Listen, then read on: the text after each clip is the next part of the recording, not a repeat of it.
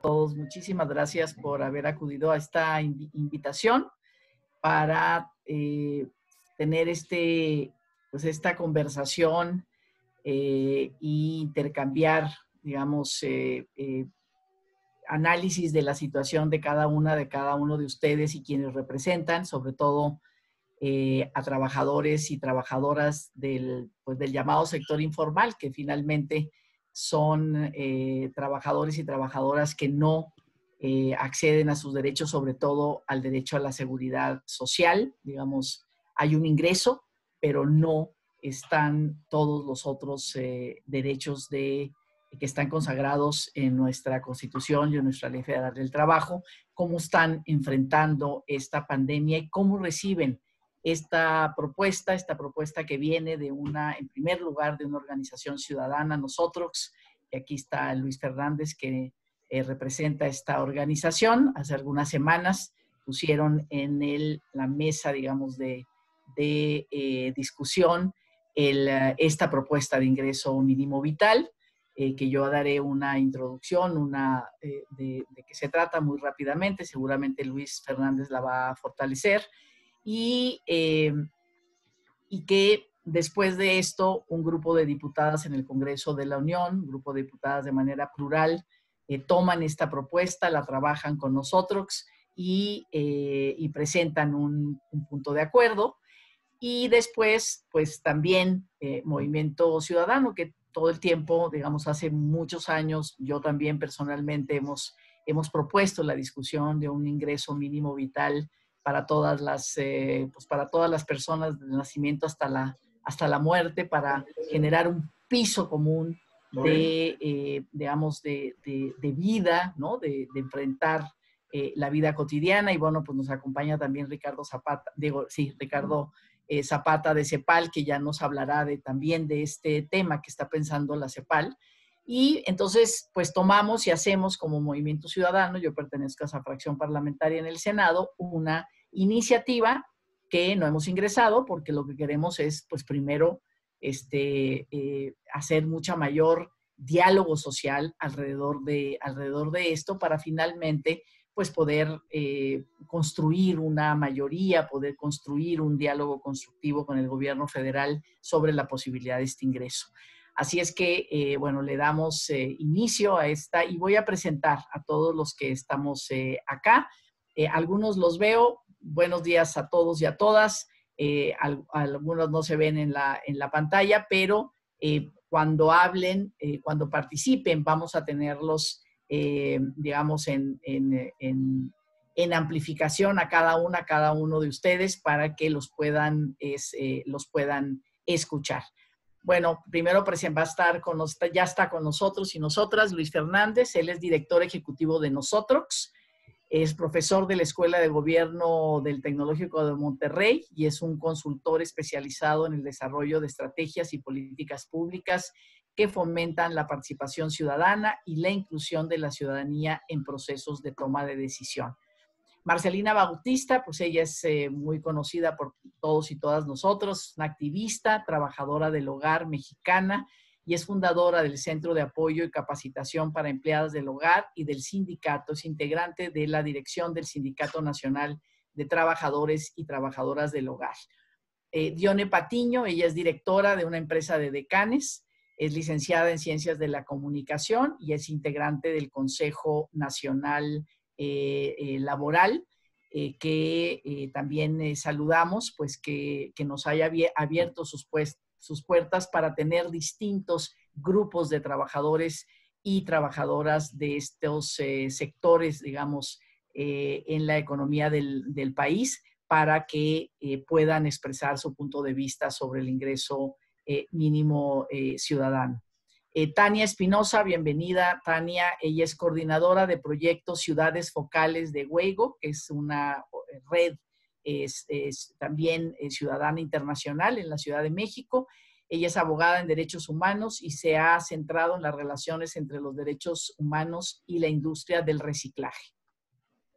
Fernando Aguirre, bienvenido. Él es trabajador del sector del transporte y la construcción, también del Consejo Nacional Laboral.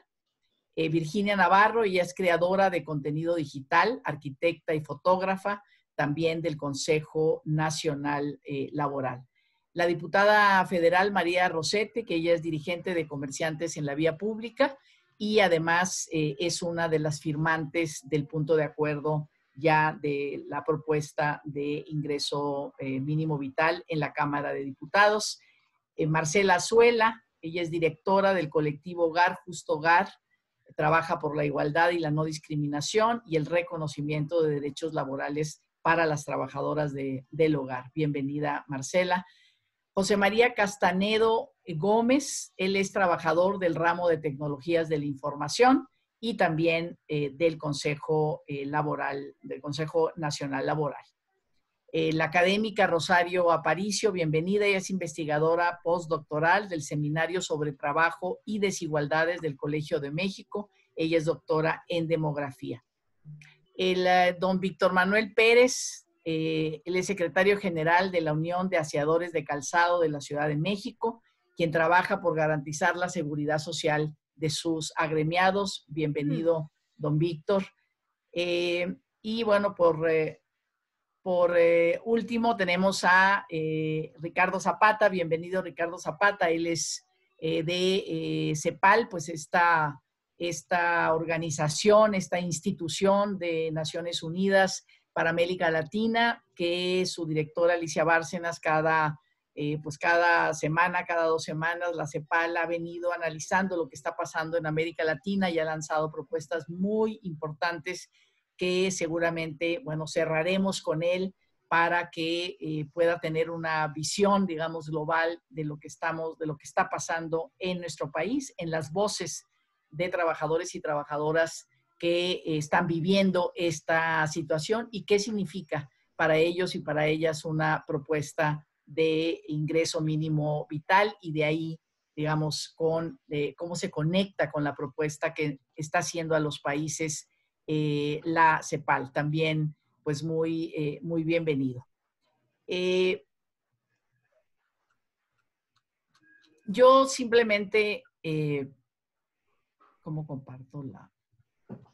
Un momento, voy a compartir una, una, una presentación.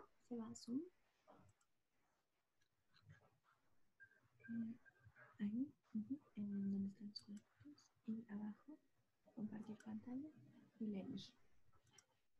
Doble compartir aquí. Y pone es como el espejito.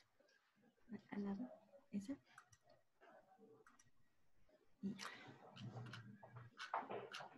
Bueno, una presentación muy para, sobre todo para quienes están siguiendo esta, esta, este conversatorio, ¿no? Porque todos y todas ustedes les mandamos la iniciativa, el punto de acuerdo, eh, una presentación eh, también sobre esta, eh, sobre esta propuesta. Así es que me voy a tomar un minuto porque lo más importante pues es lo que ustedes van a, van a decir. sin duda, ¿no? En la actual crisis económica, ¿no? Que ha suspendido pues muchas actividades no esenciales, que son la gran mayoría, porque en realidad pues este es un tema, es un tema de una crisis sanitaria eh, han tenido un impacto muy importante en la ocupación laboral y en los ingresos eh, de las personas. Muchas personas han perdido su trabajo, han perdido la posibilidad de tener sus ingresos por el tipo de trabajo que, desarrollan y también muchos otros a lo mejor no han perdido totalmente sus ingresos, pero los han, eh, los han disminuido de manera, de manera importante. Eh, para, quedarnos, eh, en, pues para quedarnos en casa, que es lo que necesitamos hacer en términos de esta crisis eh, sanitaria, pues hay una gran cantidad de personas en el autoempleo ¿no? y en la informalidad, es decir, sin derechos, que tuvieron que suspender sus actividades para quedarse en casa. Muchos, muchos perdieron su trabajo, seguramente trabajadoras del hogar, Muchos han visto reducidos como los trabajadores saciadores de calzado, que a lo mejor hacían 10 o 20 eh, servicios de boleada y en este momento pues a lo mejor hacen una, dos o simplemente ninguna porque no pueden eh, salir de su casa por su situación, digamos, de salud, que lo mejor es quedarse en casa. Eh, es que no sé.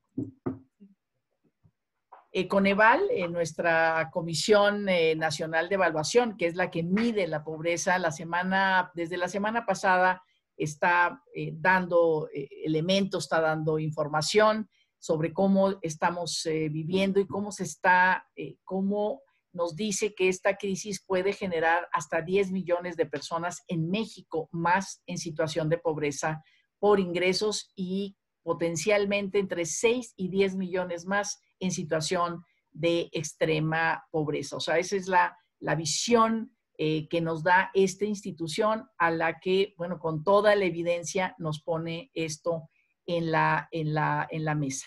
Así es que frente a eso, como yo les decía, eh, una organización ciudadana, un punto de acuerdo en la Cámara de Diputados, el punto de acuerdo es llamar al Ejecutivo Federal a, eh, a tomar en cuenta, a discutir, a dialogar sobre esto y Movimiento Ciudadano, pues eh, presentamos, presentamos a nivel, eh, yo se los estoy presentando y se las envié, la ley del ingreso mínimo vital en situaciones especiales, o sea, no solamente es en esta emergencia, sino en cualquier emergencia. El ingreso mínimo vital es el derecho de las personas que en este COVID-19 eh, perdieron su empleo o han visto afectados sus ingresos. Entonces, es el derecho a recibir eh, de parte del Estado un apoyo monetario eh, temporal.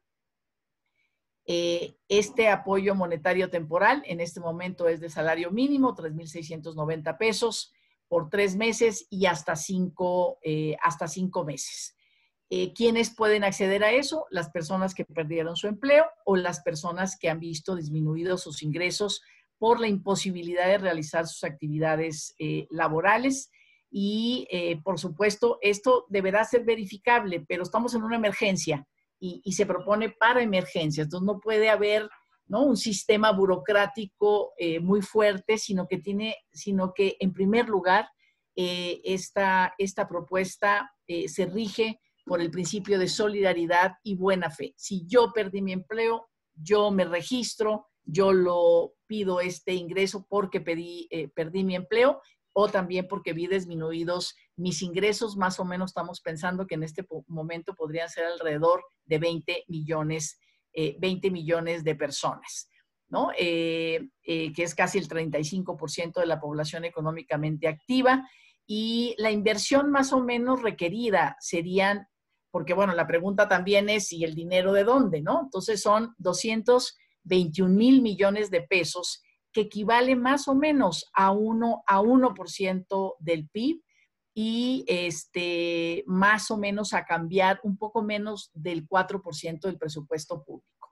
Esto, esto implicaría que el Ejecutivo y la Cámara de Diputados, que es la que tiene la responsabilidad de decidir sobre el presupuesto público, pudieran ponerse de acuerdo para ver de dónde. O sea, ahí está el dinero, ahí está el 100% del presupuesto, necesitamos 3.6 para poderle garantizar a 20 millones de personas más menos un ingreso eh, vital en este momento entre tres meses y cinco meses de 3.690 pesos para poder, para poder hacer que, eh, digamos, esto sea un paliativo que nos ayude a la vida, eh, a poder vivir, digamos, la cotidianidad en esta, en esta emergencia, para pues volver a salir y volver a desarrollar lo que, eh, lo que hacíamos. Entonces, bueno, pues esta es la, la, la, propuesta eh, que, les, eh, que les estamos, digamos, que está en la mesa y sobre la cual pues queremos, a partir de su experiencia, de qué es lo que representan, qué grupos de trabajadores representan ustedes y trabajadoras, cómo, cómo, cómo sienten esta propuesta, es algo que, ayuda, que fortalece, que va por el, digamos, por un camino, por un buen camino. Eh, así es que, bueno, pues eh, esperamos eh, escucharlos. Y en primer lugar, le daría la palabra a Luis Fernández de Nosotros para que nos diga también, que nos explique cuál es la propuesta y qué está haciendo Nosotros en ese sentido. Luis. Muchísimas gracias, Patricia. Y, y de verdad, gracias por la, por la invitación y por la organización de este, de este espacio. La verdad es que me da muchísimo gusto ver a caras tan conocidas y con quienes ya compartimos varias batallas eh, en el camino. Quiero contarles un poquito el origen eh, de la propuesta, al menos de dónde viene muy buena parte de la reflexión, además de reconocer que es una propuesta que viene de antaño, la de la renta básica universal, con la idea de poder cambiar el esquema de protección y el régimen social eh, en, la ciudad, en la Ciudad de México. Digo, en el país entero, en realidad en el, en el mundo. En la Ciudad de México se estableció incluso en la Constitución eh, en la nueva y en distintos países ya lo han tomado como una medida extraordinaria. Nosotros desde hace tres años trabajamos con varias poblaciones eh, o cuyos derechos son vulnerados, sobre todo los laborales. Trabajamos con trabajadoras del hogar, con eh, trabajadores de plataformas digitales. Bueno, bueno, ¿me escuchan? Si me pueden confirmar si me escuchan. Sí, sí, sí te escuchamos. Adelante. Te escuchamos. Bueno, ya no. Se pasó. Sí. Marcelina, ¿cómo estás? Bien, buenos días, senadora. Luis, creo que te saliste.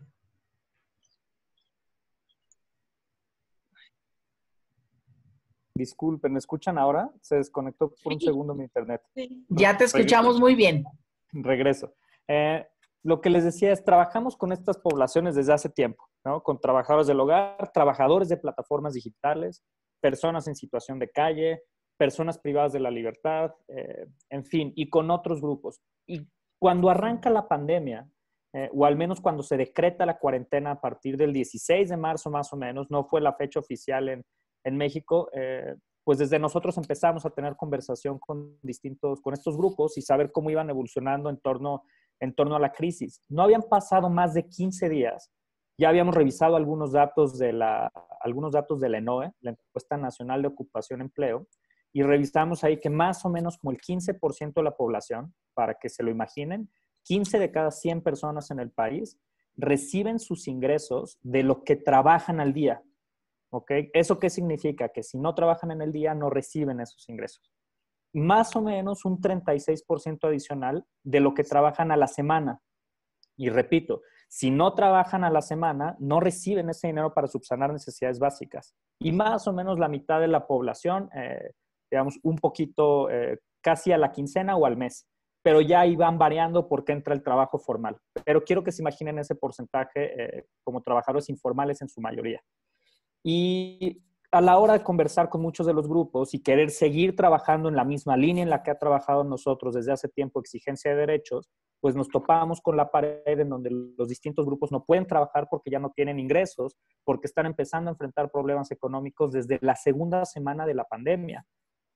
Tomamos por primera vez una decisión muy fuerte para el movimiento, porque decidimos no ser una organización asistencial desde hace tiempo, sino pugnar por cambios estructurales.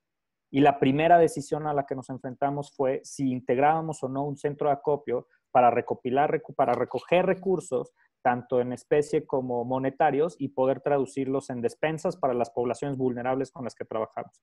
Decidimos hacerlo e hicimos una gran campaña y avanzó y, y hicimos una campaña para que las personas que lo necesitaran se inscribieran. Y quiero que se imaginen, o más bien que conozcan, que sepan que muchísimas, que la base de datos, o al menos de personas que lo necesitaban en el país, empezó a crecer rapidísimo. Y la cantidad de recursos disponibles de nosotros no daba ni siquiera para subsanar el 10% o al 5% del total de despensas que se requerían para las personas con las que trabajamos directamente. Hay una comunidad ya muy amplia que trabajamos con Marcelina también de trabajadoras del hogar, que son casi 32 mil trabajadoras en el país. Muchas de ellas se registraron, de trabajadores digitales también. Eh, y en ese momento lo que nos dimos cuenta es que por más que uniéramos esfuerzos con otras organizaciones, por más que empujáramos lo suficiente, no íbamos a llegar, eh, más bien íbamos a llegar a un número muy pequeño de población. Y lo que empezamos a analizar fueron los cambios estructurales que podríamos plantear al respecto.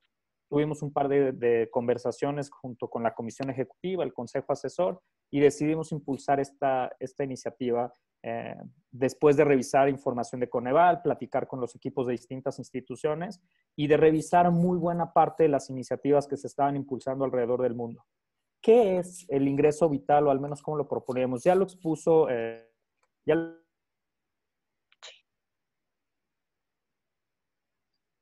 este tipo de iniciativas que, que se presenten este tipo de iniciativas. Siento que se está trabando un poco, espero que no, eh, pero regreso.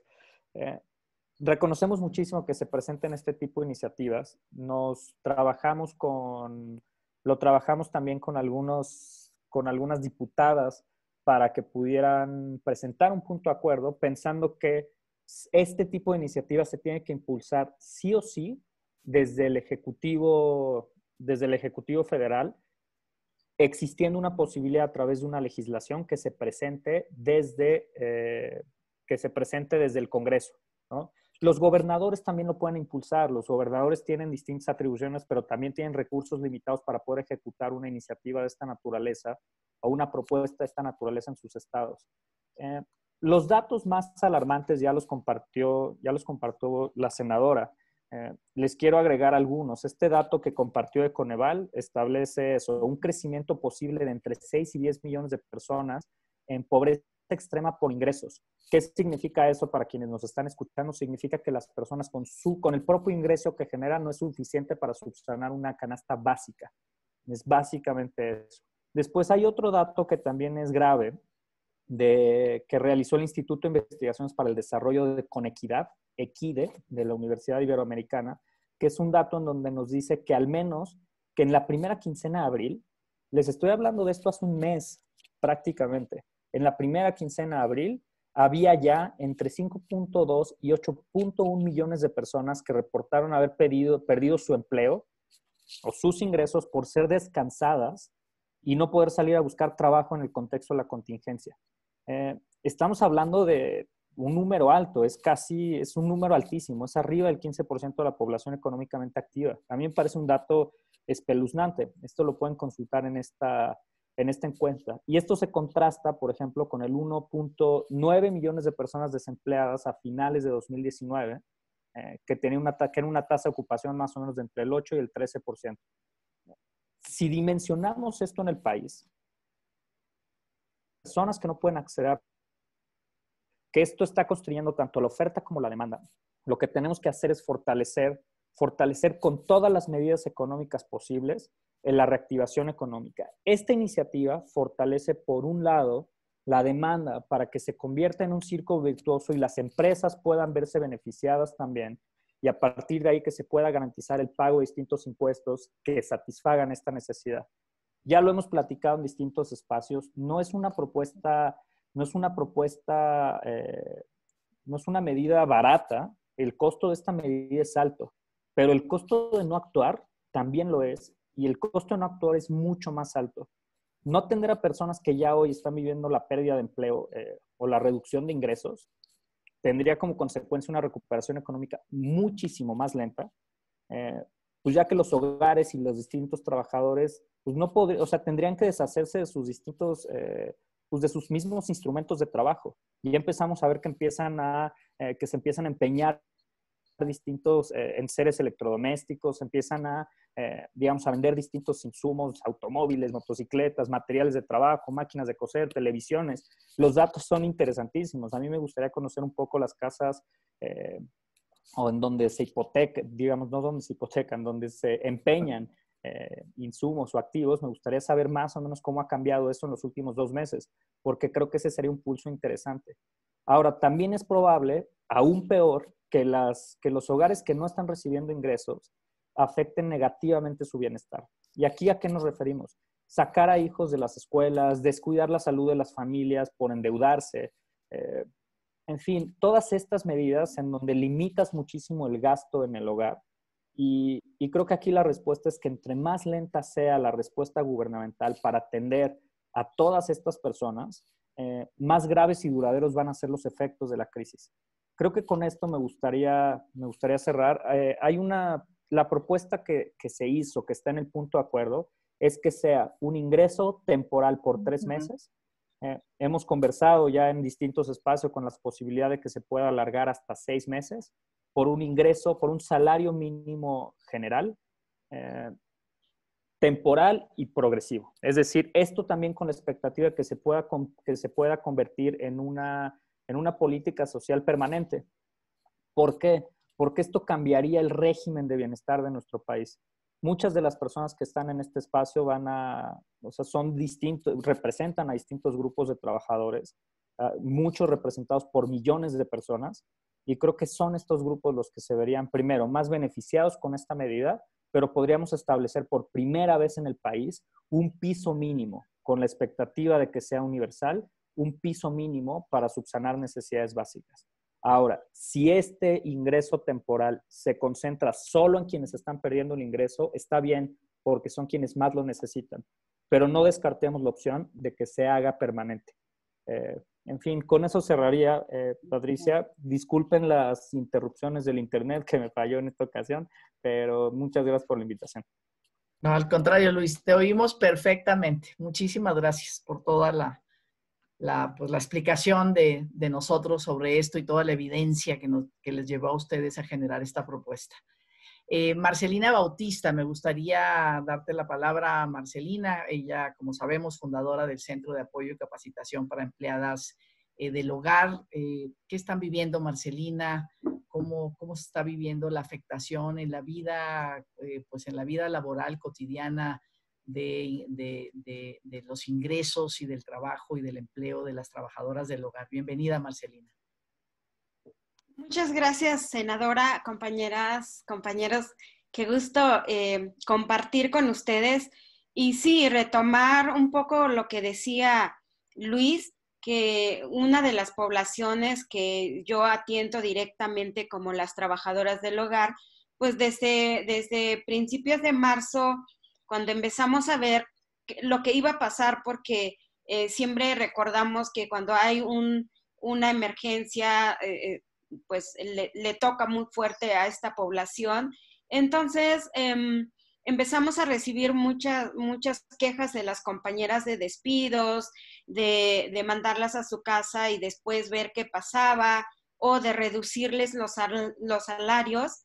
Entonces, eh, pues hemos eh, hecho muchas acciones, ¿no? Junto con nosotros, el Hogar Justo Hogar, WIGO y todas estas organizaciones que hemos estado este, en alianza para ir mejorando las, las, las leyes a favor de las trabajadoras del hogar, pero pues viendo que estas acciones no han sido suficientes para cubrir pues las necesidades de las personas trabajadoras y entonces eh, eh, a partir de entonces he hecho pues varias, varios llamados, eh, en, primero para in, incluir a las trabajadoras del hogar o crear ya el seguro de desempleo para ellas, ya que en la Ciudad de México transita más de 300 mil trabajadoras del hogar y la mayoría son del Estado de México. Y entonces el seguro de desempleo solamente es, eh, sirve para las personas que viven en la Ciudad de México y entonces, pues también estamos viendo eh, cómo, cómo, algunas sí les toca, a, otras no. Y por el otro lado, también viendo a nivel nacional eh, que miles de trabajadoras del hogar han sido eh, despedidas, le han rebajado el salario, las han mandado a sus casas y sin pago, y muchas que son trabajadoras de planta, pues se han tenido que ir a sus comunidades porque están de planta, porque no tienen dónde vivir aquí en, en cada lugar de, de, donde están trabajando.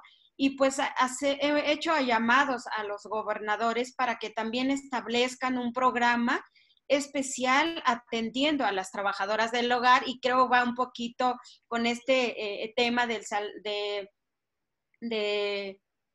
ingreso vital que, que, que, crean este programa y destinen un salario mínimo para que mientras dure esta pandemia, para que las trabajadoras del hogar pues no estén en, tan, en tan difícil eh, situación y, y para, para nosotras es importantísimo esta iniciativa eh, de ingreso vital y como su, su nombre lo dice, ¿no?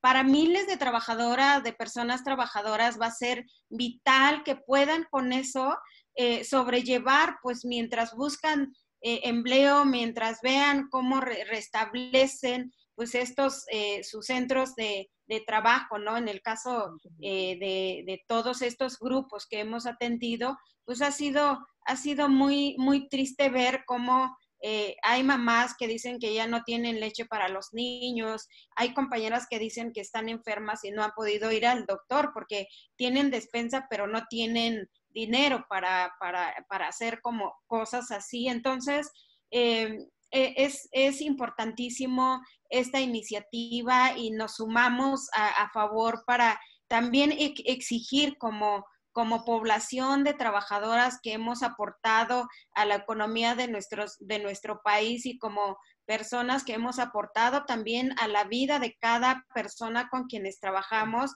que los ingresos se distribuyan de manera justa con estas poblaciones que hoy lo están necesitando. Muchas gracias. Muchas gracias, Marcelina. Muchas, muchas gracias y muy, muy claro tu planteamiento. Esperemos que sí, que sí lo logremos. Y efectivamente, tenemos que hablarlo también en todos los estados de la República. Ya platicaremos de cómo, de cómo hacerlo, ¿no? Cómo hacerlo con una organización como ustedes que tiene eh, conexiones en todo el país para, para que la voz de todas las representantes de, este, de las trabajadoras del hogar puedan, puedan hablar también y decir y pedir este ingreso. Le daría la palabra a Dione Patiño, directora de empresa de Decanes, que ella es de, que ella es de, la, del, Consejo Nacional eh, Laboral, eh, que también está con nosotros eh, Alberto, Alberto Juárez Bautista, que es el, es el, que dirige esta confederación, de, que realmente es como muy diversa en términos del tipo de trabajadores y trabajadoras que, que agrupa Bienvenida, Dione. ¿Cómo, ¿Cómo están pasando por esta crisis? ¿Cómo han visto reducidos sus eh, ingresos? Seguramente ustedes pues tienen ingresos mayores a un salario mínimo, andarán entre 3 y 5 quizás. El recibir este ingreso mínimo vital en este momento, durante tres meses a cinco, realmente eh, podría ayudar eh, a, las, eh, a, las, eh, a las, sobre todo mujeres, digamos, que trabajan como, como decanes para pasar esta, esa crisis. ¿Cómo, ¿Cómo la están viendo? Muchísimas gracias, Dione. Gracias a usted. Muy buenos días a todos. ¿Sí me escuchan? Sí, muy, muy bien. Gracias. Bueno, pues la verdad me parece muy buena opción, la verdad, este, eh, este, esta ayuda, porque efectivamente nosotras, eh, al igual que Marcelina nos estaba comentando, pues si no trabajamos, no ganamos, eh, no percibimos ningún sueldo, no tenemos un, seguro tampoco, un seguro social, nada de esto. Entonces, nosotras tanto trabajamos, este, tanto percibimos. Sí, nos va bien, gracias a Dios, cuando hay mucho trabajo, pero tenemos varios meses en los que no hay nada. Eh, esto es normal porque hay, eh, hay una etapa eh, del año en la que hay muchos eventos. Entonces nosotras nos movemos mucho por las, las fechas de los calendarios, de los eventos de mm, congresos, exposiciones, ferias y pues todo lo que es este este tipo de, mm, de, mm, pues sí, las ferias, las exposiciones. Entonces, en, nuestras exposiciones, en nuestro medio, nosotros vemos muchísima gente eh, día a día. Por ejemplo, son ferias de tres días que van, por ejemplo, cinco mil personas, ¿no? Entonces, al llegar la pandemia, obviamente se cancela todo y nosotros ya no percibimos nada. Entonces, en mi caso, pues estoy viviendo de mis ahorros y pues ya tenemos varios meses así y pues están terminando. Y pues bueno, eh, leí los documentos que me, que me enviaron y pues creo que es muy buena ayuda porque ahí también nos comentan que de esta manera al percibir ese, ese dinero se está echando a andar la economía y eso es algo muy bueno para el país, ¿no? Realmente me parece muy bueno, muy, muy atinado pues de su parte. Yo nunca he recibido ninguna ayuda este, del gobierno, ninguna ayuda de algún seguro. Y así están la mayoría de mis, de las edecanes y de la gente que yo contrato, que vienen siendo edecanes, modelos, intérpretes, maestros de ceremonias, todo lo que hace que una exposición, una feria, un congreso se lleve a cabo. Aparte, no únicamente es mi agencia de decanes, sino hay varias agencias relacionadas a este rubro. Por ejemplo, están las agencias de montadores, los montajes, que son los que ponen los stands en las, en las ferias. Hay muchos em, ingenieros de sonido, ingenieros de iluminación. Eh, todas estas personas, incluso también hay gente que tiene este, de limpieza, organizadores, todo eso, pues estamos dentro de un medio en el que si no hay gente, pues no se puede hacer nada. Y pues ahora se paró todo lo que sea con gente, ¿no? Y esa es eh, la problemática tan grande que está a nivel mundial. Y bueno, em, me parece muy buena idea y estoy muy, muy, em, pues, animada con, este, con esta iniciativa que de alguna manera y este, cuenten conmigo, por favor, para apoyarlos por todos los medios, eh, redes sociales o de voz en voz, porque pues conozco mucha gente, estoy muy, muy relacionada con otras agencias a las que les puedo eh, comentar esta iniciativa que se me hace tan buena y tan importante. Muchas gracias. Oye, Dione, pues muchísimas gracias, muchísimas gracias a ti, nos das mucha claridad de, o sea, hasta dónde, ¿no? Hasta, hasta dónde luego no dimensionamos verdaderamente eh, quiénes somos afectados por, este, por, esta, por esta crisis, por esta pandemia. Y tú ya nos has dado una lista de trabajadores que efectivamente este ingreso vital, pues sería eso, sería vital para pasar este momento mientras vuelven todos estos eventos. Muchísimas gracias de verdad. Al contrario, eh, gracias. Quisiera ahora darle la, palabra a Tania Espinosa. Ella es coordinadora de proyectos Ciudades Focales de Huego en la Ciudad de México. ¿Qué, ¿Cómo has visto, Tania? ¿Cuál es el diagnóstico que tienen ustedes ¿no? respecto a los eh, grupos de trabajadoras y trabajadores en la informalidad ante, ante, lo que estamos, eh, ante lo que estamos viviendo? ¿Y cómo ves la propuesta? Bienvenida.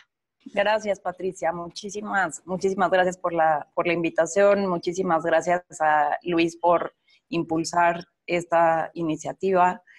Eh, bueno, a mí me gustaría precisamente contar el proceso que hemos vivido desde WIGO en el tema de la pandemia y los trabajadores en empleo informal. Eh, WIGO trabaja con diferentes grupos ocupacionales.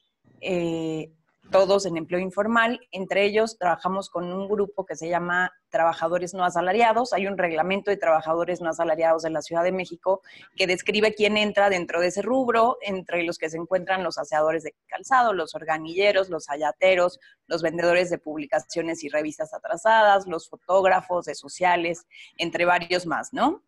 Em, con este grupo eh, eh, eh, inició el tema de la cuarentena y una de las cosas que me parece muy importante destacar es que el contacto que nosotros tuvimos con los trabajadores durante todo este, durante todo este tiempo, pero al inicio, em, se enfocaba en que estaban muy preocupados no por el coronavirus en sí mismo, no por la enfermedad, no porque se fueran a contagiar, sino más bien estaban preocupados por saber cómo le iban a hacer para poder sobrevivir durante el tiempo que no pudieran trabajar. Literalmente, eh, los representantes de varias de estas organizaciones nos decía, conforme fue pasando el tiempo, que la gente estaba muy desesperada por no saber qué es lo que iban a comer, literalmente por no tener cómo conseguir recursos. Eh, esto es porque, bueno, muchos de estos trabajos se desarrollan en el espacio público y obviamente con las medidas de aislamiento, etcétera, bueno, pues por un lado primero empezaron a desaparecer todos los clientes, aunque ellos todavía podían estar ahí, y después ellos mismos fueron retirados, ¿no? Eh, hay que tomar en cuenta que hay grupos, por ejemplo, publicaciones y revistas atrasadas, donde la gran, gran, gran mayoría son adultos mayores y representaba un riesgo enorme seguir trabajando. Eh, básicamente, pues era condenarse a infectarse de coronavirus y estar en una situación donde se ponía en peligro la vida, ¿no? Entonces, eh, el posicionamiento de Wigo frente a esto eh, fue que eh, tenía que haber un ingreso o un recurso que reemplazara el ingreso que se estaba dejando de percibir. Nos pusimos a pensar cuáles podrían ser las medidas existentes para ayudarles, pero definitivamente esa fue la medida central. O sea, determinamos que si no existía eso, no iba a haber forma en que pudieran subsistir. Y entonces a nivel Ciudad de México se, impulsó eh, esa medida, en las llamadas que tuvimos con algunos representantes del gobierno, recomendamos siempre que hubieran las transferencias de los ingresos y, en algún momento se logró. Actualmente existe un programa para trabajadores no asalariados en la Ciudad de México, que son transferencias de recursos precisamente eh, emergentes para la sustitución del ingreso y las recibimos con mucho, con mucho gusto pero conforme fue pasando el tiempo nos dimos cuenta de otros detalles. Eh, es decir, no se trata de que solamente eh, sea una transferencia de recursos, sino que se tiene eh, que tener una forma de entrega adecuada y accesible para los trabajadores y el monto también tiene que ser adecuado para tener una subsistencia digna. Por ejemplo, inicialmente se trataba de una única entrega, ¿no? Iban a entregarles 1.500 pesos por una sola vez y entonces, si bien los trabajadores lo recibían con gusto, pues porque no tienen ingresos y tener 1.500 pesos, por supuesto que es bueno, también decían pues que eso no les iba a ser suficiente para subsistir durante todo el tiempo, ¿no? Eh, después, había requisitos como, por ejemplo, en un inicio, por el tema de la sana distancia, la Secretaría hizo el, el procedimiento virtual y pues resultó que muchos de los trabajadores decían, pues es que no tenemos cómo decirle a nuestros agremiados que apliquen porque implica tener como ciertas capacidades como saber usar el Internet, este, poder acceder a un café Internet también, porque no tienen computadoras en sus casas y por supuesto, pues saber leer y escribir, ¿no? Y hay muchos compañeros que no cuentan con estas características y entonces automáticamente estaban quedando fuera de, de este eh, transferencia de recursos no porque no, no lo necesitaran o no lo quisieran, sino porque definitivamente era inaccesible, ¿no? Y otro de los puntos importantes fue que eh, de los requisitos con los que se, con los que se cuenta para o que se requieren para, para poder acceder a este recurso es que tengan licencia vigente o en trámite, lo cual también, por un lado, se entiende porque es la forma en la que la Secretaría del Trabajo tiene un registro de ellos y puede asegurarse que esos que tiene registrados sean los que estén obteniendo ese beneficio, pero por otro lado, siempre queda la duda que ante una crisis como esta, que representa eh, pues un reto humanitario, eh, pues poner como requisito un trámite administrativo, pues también deja a mucha gente fuera que no es que no necesite el recurso, sino que simplemente no realizó el trámite a tiempo, ¿no? Y el otro de los, de los puntos también muy importante es que, como decía Marcelina, igual en, en estas transferencias es solamente para los residentes de la Ciudad de México. Y en, el grupo de trabajadores en empleo informal en la Ciudad de México, específicamente en el de no asalariados, hay un alto porcentaje de compañeros que vienen de, la zona metropolitana, que trabajan aquí, pero que no viven aquí, que también se quedaron fuera de, de esta ayuda. Por lo tanto, em, nos parece, eh, sobre esta iniciativa, nos parece muy bien eh, que cuente con, ciertas características. Por un lado, que los beneficiarios, pues, sean las personas que hayan visto mermados sus ingresos económicos, independientemente si tienen una licencia vigente o no tienen una licencia vigente, sino que trabajen y por las circunstancias, pues, tuvieron que dejar de trabajar y, por lo tanto, de percibir ingresos. Por otro lado, nos parece muy bien que únicamente se necesite declarar que se encuentran en este supuesto sin que haya otros trámites burocráticos que complejicen la, recepción de esta ayuda. Eh, y por otro lado, pues el monto nos parece también apropiado, nos parece que es lo mínimo que se debe de, de tener para poder subsistir con dignidad, que es un salario mínimo mensual. Y también hay que decir que la periodicidad es importante. El hecho de que se establezca por tres meses y con la posibilidad de extenderse dos meses más es buenísimo, porque en el caso de la Ciudad de México, después lo extendieron por un mes más y ahora van a recibir esta ayuda a los trabajadores por dos meses. Sin embargo, eh, no era así desde un principio y me parece eh, fundamental que exista una medida que prevea eh, que estas situaciones pueden suceder y que se tengan los recursos necesarios para poder garantizar el ingreso por el tiempo que dure la, situación económica emergente de crisis, ¿no? Eh, únicamente hubieron eh, bueno, aquí también es importante decir que les estoy hablando del, caso de los trabajadores no asalariados, pero hay otros grupos de trabajadores, por ejemplo, los tianguistas, que no fueron beneficiarios de este mismo programa. El gobierno determinó en el caso de los tianguistas darles créditos. Entonces, un programa como el que eh, propone esta iniciativa de ley nos parece eh, que es adecuado porque eh, se corre menos riesgo de que haya trabajadores que se queden fuera por pertenecer a un grupo ocupacional o a otro, porque el registro tenga, porque el gobierno tenga un registro del grupo o no. Eh, es decir, si esto estuviera vigente al día de hoy, por ejemplo, todos esos tianguistas, en vez de tener que endeudarse para poder subsistir, podrían acceder a este beneficio económico y eh, pues lograr que el gobierno les garantice la subsistencia. Em, y hay un par de, preguntas que me quedan, que es, por un lado, dice la iniciativa que el INEGI elaborará el catálogo de grupos ocupacionales. Y ahí un poco eh, mi preocupación es que, por ejemplo, hay trabajadores como los organilleros, eh, que en la Ciudad de México están reconocidos dentro del reglamento de trabajadores no asalariados, con licencia de trabajadores no asalariados, que el INEGI no considera como trabajadores, sino como grupos en estado de mendicidad, porque viven de las dádivas. Entonces es importante hacer un trabajo con el INEGI para que nadie quede fuera. Este es solamente un ejemplo, pero seguramente pueden haber más. Entonces, bueno, creo que ahí definitivamente es un punto en el que se tendrá que trabajar.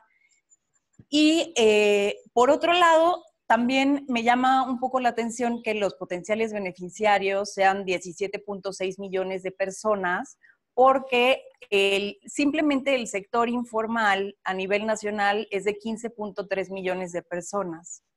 Entonces, eh, me gustaría a mí conocer un poquito más de cómo fue que se determinó, se determinaron estos 17.6 millones, porque pareciera que no van a alcanzar para todos las ayudas, ¿no? Eh, pero bueno, esa es una pregunta que, que dejo al aire.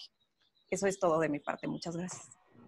Muchas gracias, Tania. Muy buenos puntos. Y yo creo que el, el, el punto de acuerdo, por ejemplo, habla casi de más de 30 millones de personas, eh, yo creo que el, el, tema de los grupos ocupacionales y, como yo y como, y como decíamos, es una, es una ley que se basa en la solidaridad y en la buena fe. Si un organillero dice, soy organillero y tal y tal y yo necesito, la idea es que lo reciba. O sea, de eso estamos hablando, digamos. No es universal, pero sí es eh, de buena fe, pero de todas maneras lo que tú planteas es un, es un muy buen punto que tenemos que ver que la ley quede muy clara eh, sobre ese tema. De verdad, muy, muy buen análisis y interrogación que le haces a la iniciativa. Eh, quisiera darle ahora la palabra a Fernando Aguirre. Él es un trabajador del sector de la construcción, eh, decía de, del Consejo Nacional este, Laboral, eh, la industria de la construcción, eh, Fernando, pues ya fue declarada una industria este, esencial, ¿no? Eh, ¿Cómo han visto, cómo, sobre todo, digamos, los, los, albañiles, los trabajadores operativos de esta, de esta industria, este ingreso mínimo, qué ha pasado con ellos? Bueno, por lo general son ellos, hay pocas ellas en esta, en esta crisis y cómo están solventando la posibilidad eh, de vida. Muchas gracias, Fernando. Muchas gracias, senadora. Mucho gusto conocerla. Sí, como bien dice usted, eh, aquí en Veracruz, en lo que es el estado de Veracruz, eh, es un promedio de 20 mil personas afectadas. Y en el puerto de Veracruz, donde radico yo, es un promedio de 2.000, 3.000 personas aproximadamente. Aquí lo único este, esencial es, entre paréntesis, lo único bueno, que el lunes nos dieron la buena noticia de que se reinstalan los trabajos paulatinamente a partir de ayer. Nuestro patrón principal, que es la Nestlé, la compañía Nestlé que se está este, construyendo aquí en el puerto de Veracruz, eh, tenemos 600 trabajadores ahí. Le repito, el día de ayer entraron 150 para el próximo martes otros 150, eh, tercer martes otros 150 y cuarto martes 150. Eh, lógico, con sus medidas de, de, sanidad, aparte, independientemente de las medidas de seguridad que, que nosotros tenemos ahí en Anestlé. Y en lo que respecta a su, a su iniciativa, la verdad nosotros nos venía, nos vendría genial porque honestamente no hemos recibido ayuda del municipio ni del estado y mucho menos de la federación. Pero sí, este, no sé, sería un parteaguas y una ayuda, una bastante ayuda para, para nosotros, para todos los compañeros. El gremio de nosotros es el transporte de materiales y trabajadores de la construcción, lo que es albañiles y puede llamarse operadores o choferes de camiones de cultivo. Muchas gracias, senadora.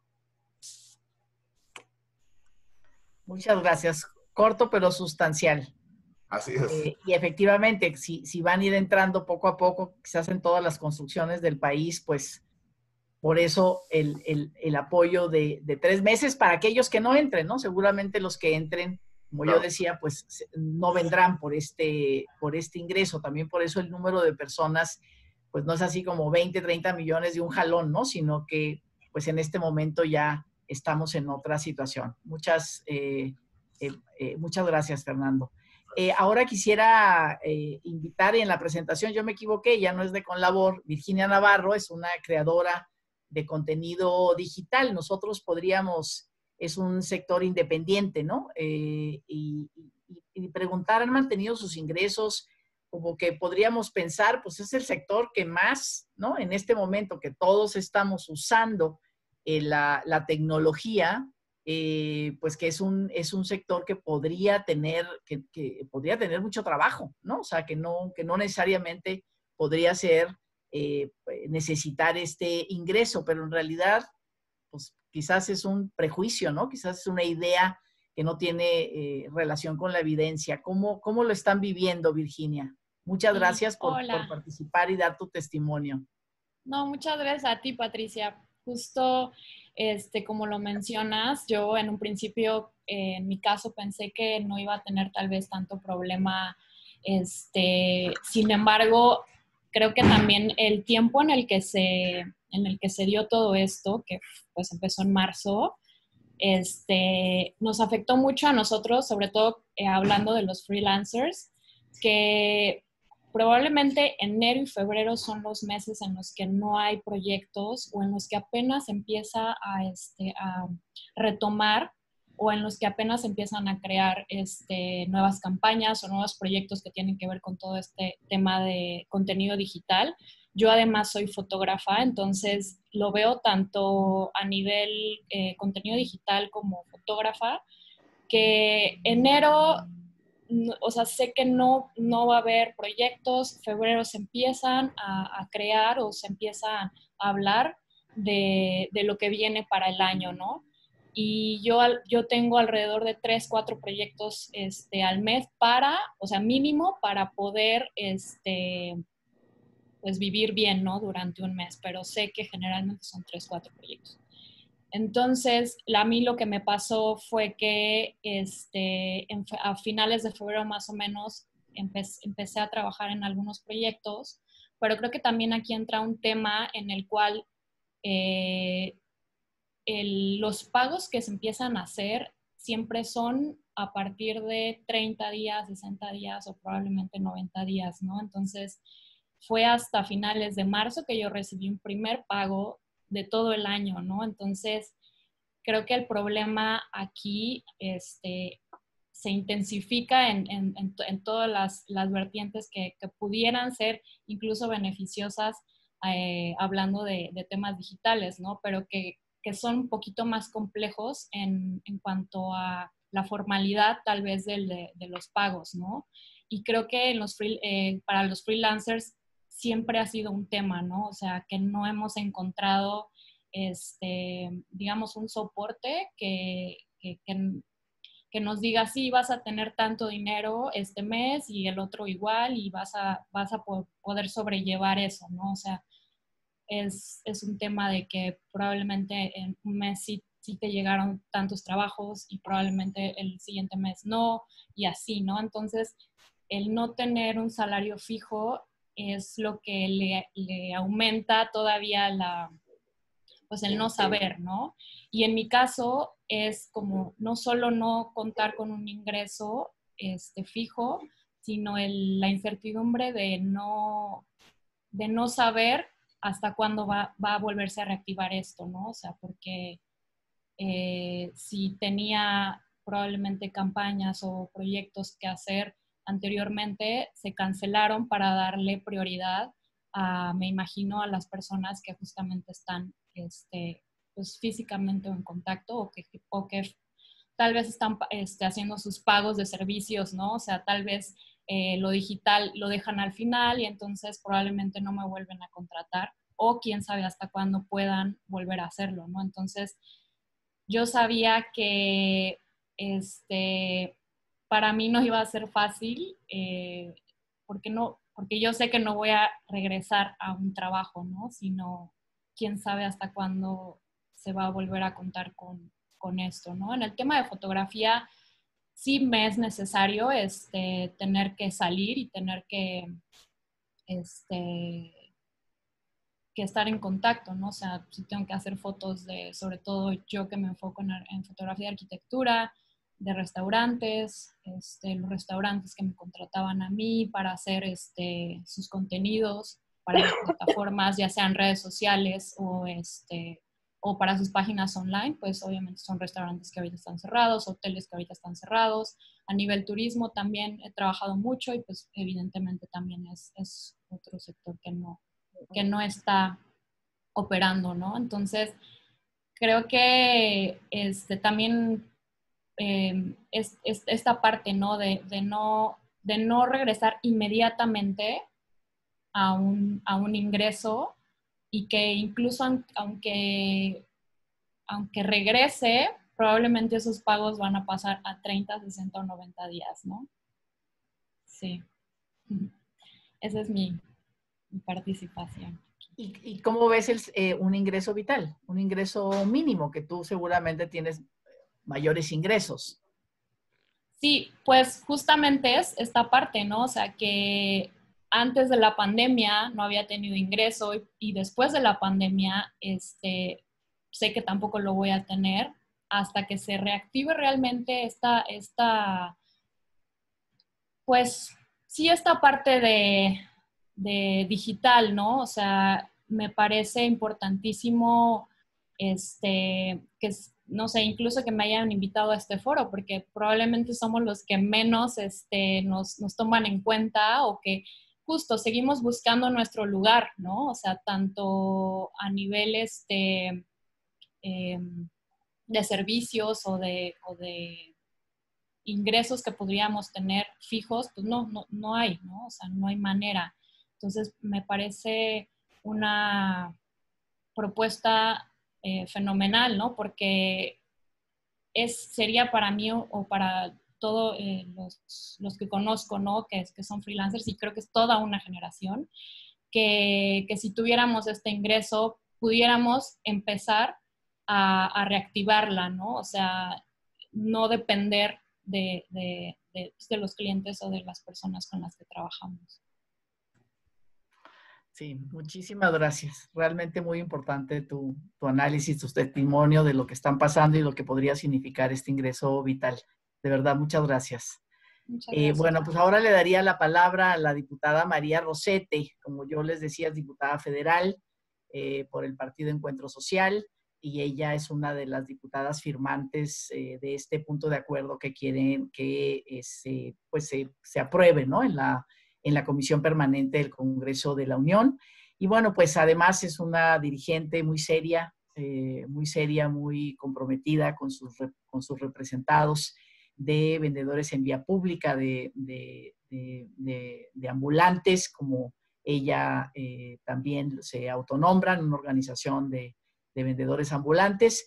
Como, y, bueno, también un poco, este, María, ¿cómo ves la posibilidad? Tú eres, eh, tu partido es parte de la coalición gobernante, ¿no? Y, y, eso es muy importante, que hayas firmado este punto de acuerdo, porque pues no es contra nadie, es más bien una, propuesta, incidir, visualizar, eh, eh, y tú como representante, pues me parece que, fuiste muy congruente, ¿no? Pero ¿qué significa este ingreso vital para los que tú representas, diputada?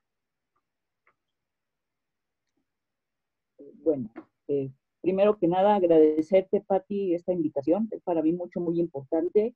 Y pues fíjate que yo creo que el hecho de eh, suscribir un documento, aunque no formes parte de un grupo parlamentario o, no tengas posiblemente los mismos intereses políticos, no debe de ser parte de una división o no, o no debe de ser parte de un lucro político que muchas veces se utiliza por no tener coincidencias o las, o las, o las coincidencias políticas que se requieren. No, yo creo que cuando tú tienes una responsabilidad hacia un sector, pues lo mínimo que debes de hacer es siempre priorizar eh, sus intereses grupales.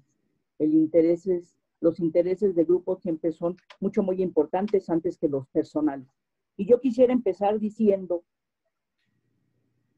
quisiera empezar a comentar cómo estamos viviendo, cómo están viviendo los comerciantes ambulantes, que ya no queremos que se nos denomine de esa manera porque ser comerciante es sinónimo de delincuente y no es así. Los, los comerciantes son personas trabajadoras, trabajan en el espacio público y ese es el concepto que nosotros queremos ir posicionando en el tablero. ¿Cómo lo están enfrentando? Pues no tienen, no tienen, tienen escasas posibilidades económicas nulos ahorros y esta situación los pone en total indefensión porque no tienen más que dos opciones, ya sea enfrentarse a la pandemia o morir de hambre. Suena duro, pero es la verdad. Mucha gente está padeciendo esta situación y lo que hacen es salir a la calle a arriesgarse porque tienen nulas posibilidades de sobrevivir porque las, las ganancias de las que ellos dependen, no es de un salario mínimo, sino del producto de sus ventas. Y eso es lo que no se ha tomado en cuenta. Yo escucho y he escuchado hablar con todo respeto de posiciones en cuanto a la situación formal. Escucho hablar aquí de exposiciones, pero en el, en el, en el sector formal, y nosotros no entramos en este, en este enjuague. Y no porque no queramos, sino porque no ha existido la posibilidad de transitar a la formalidad.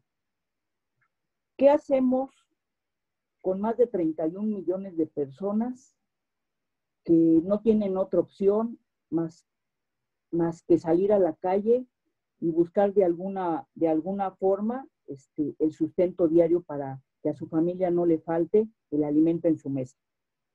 Pues evidentemente es imposible no hay cómo, porque además de todo eso, surgen algunas situaciones personales con las que se tiene que cumplir y no las puedes evadir, porque si no pagas la, la luz, te la cortan. Si no pagas la renta, te botan de la casa.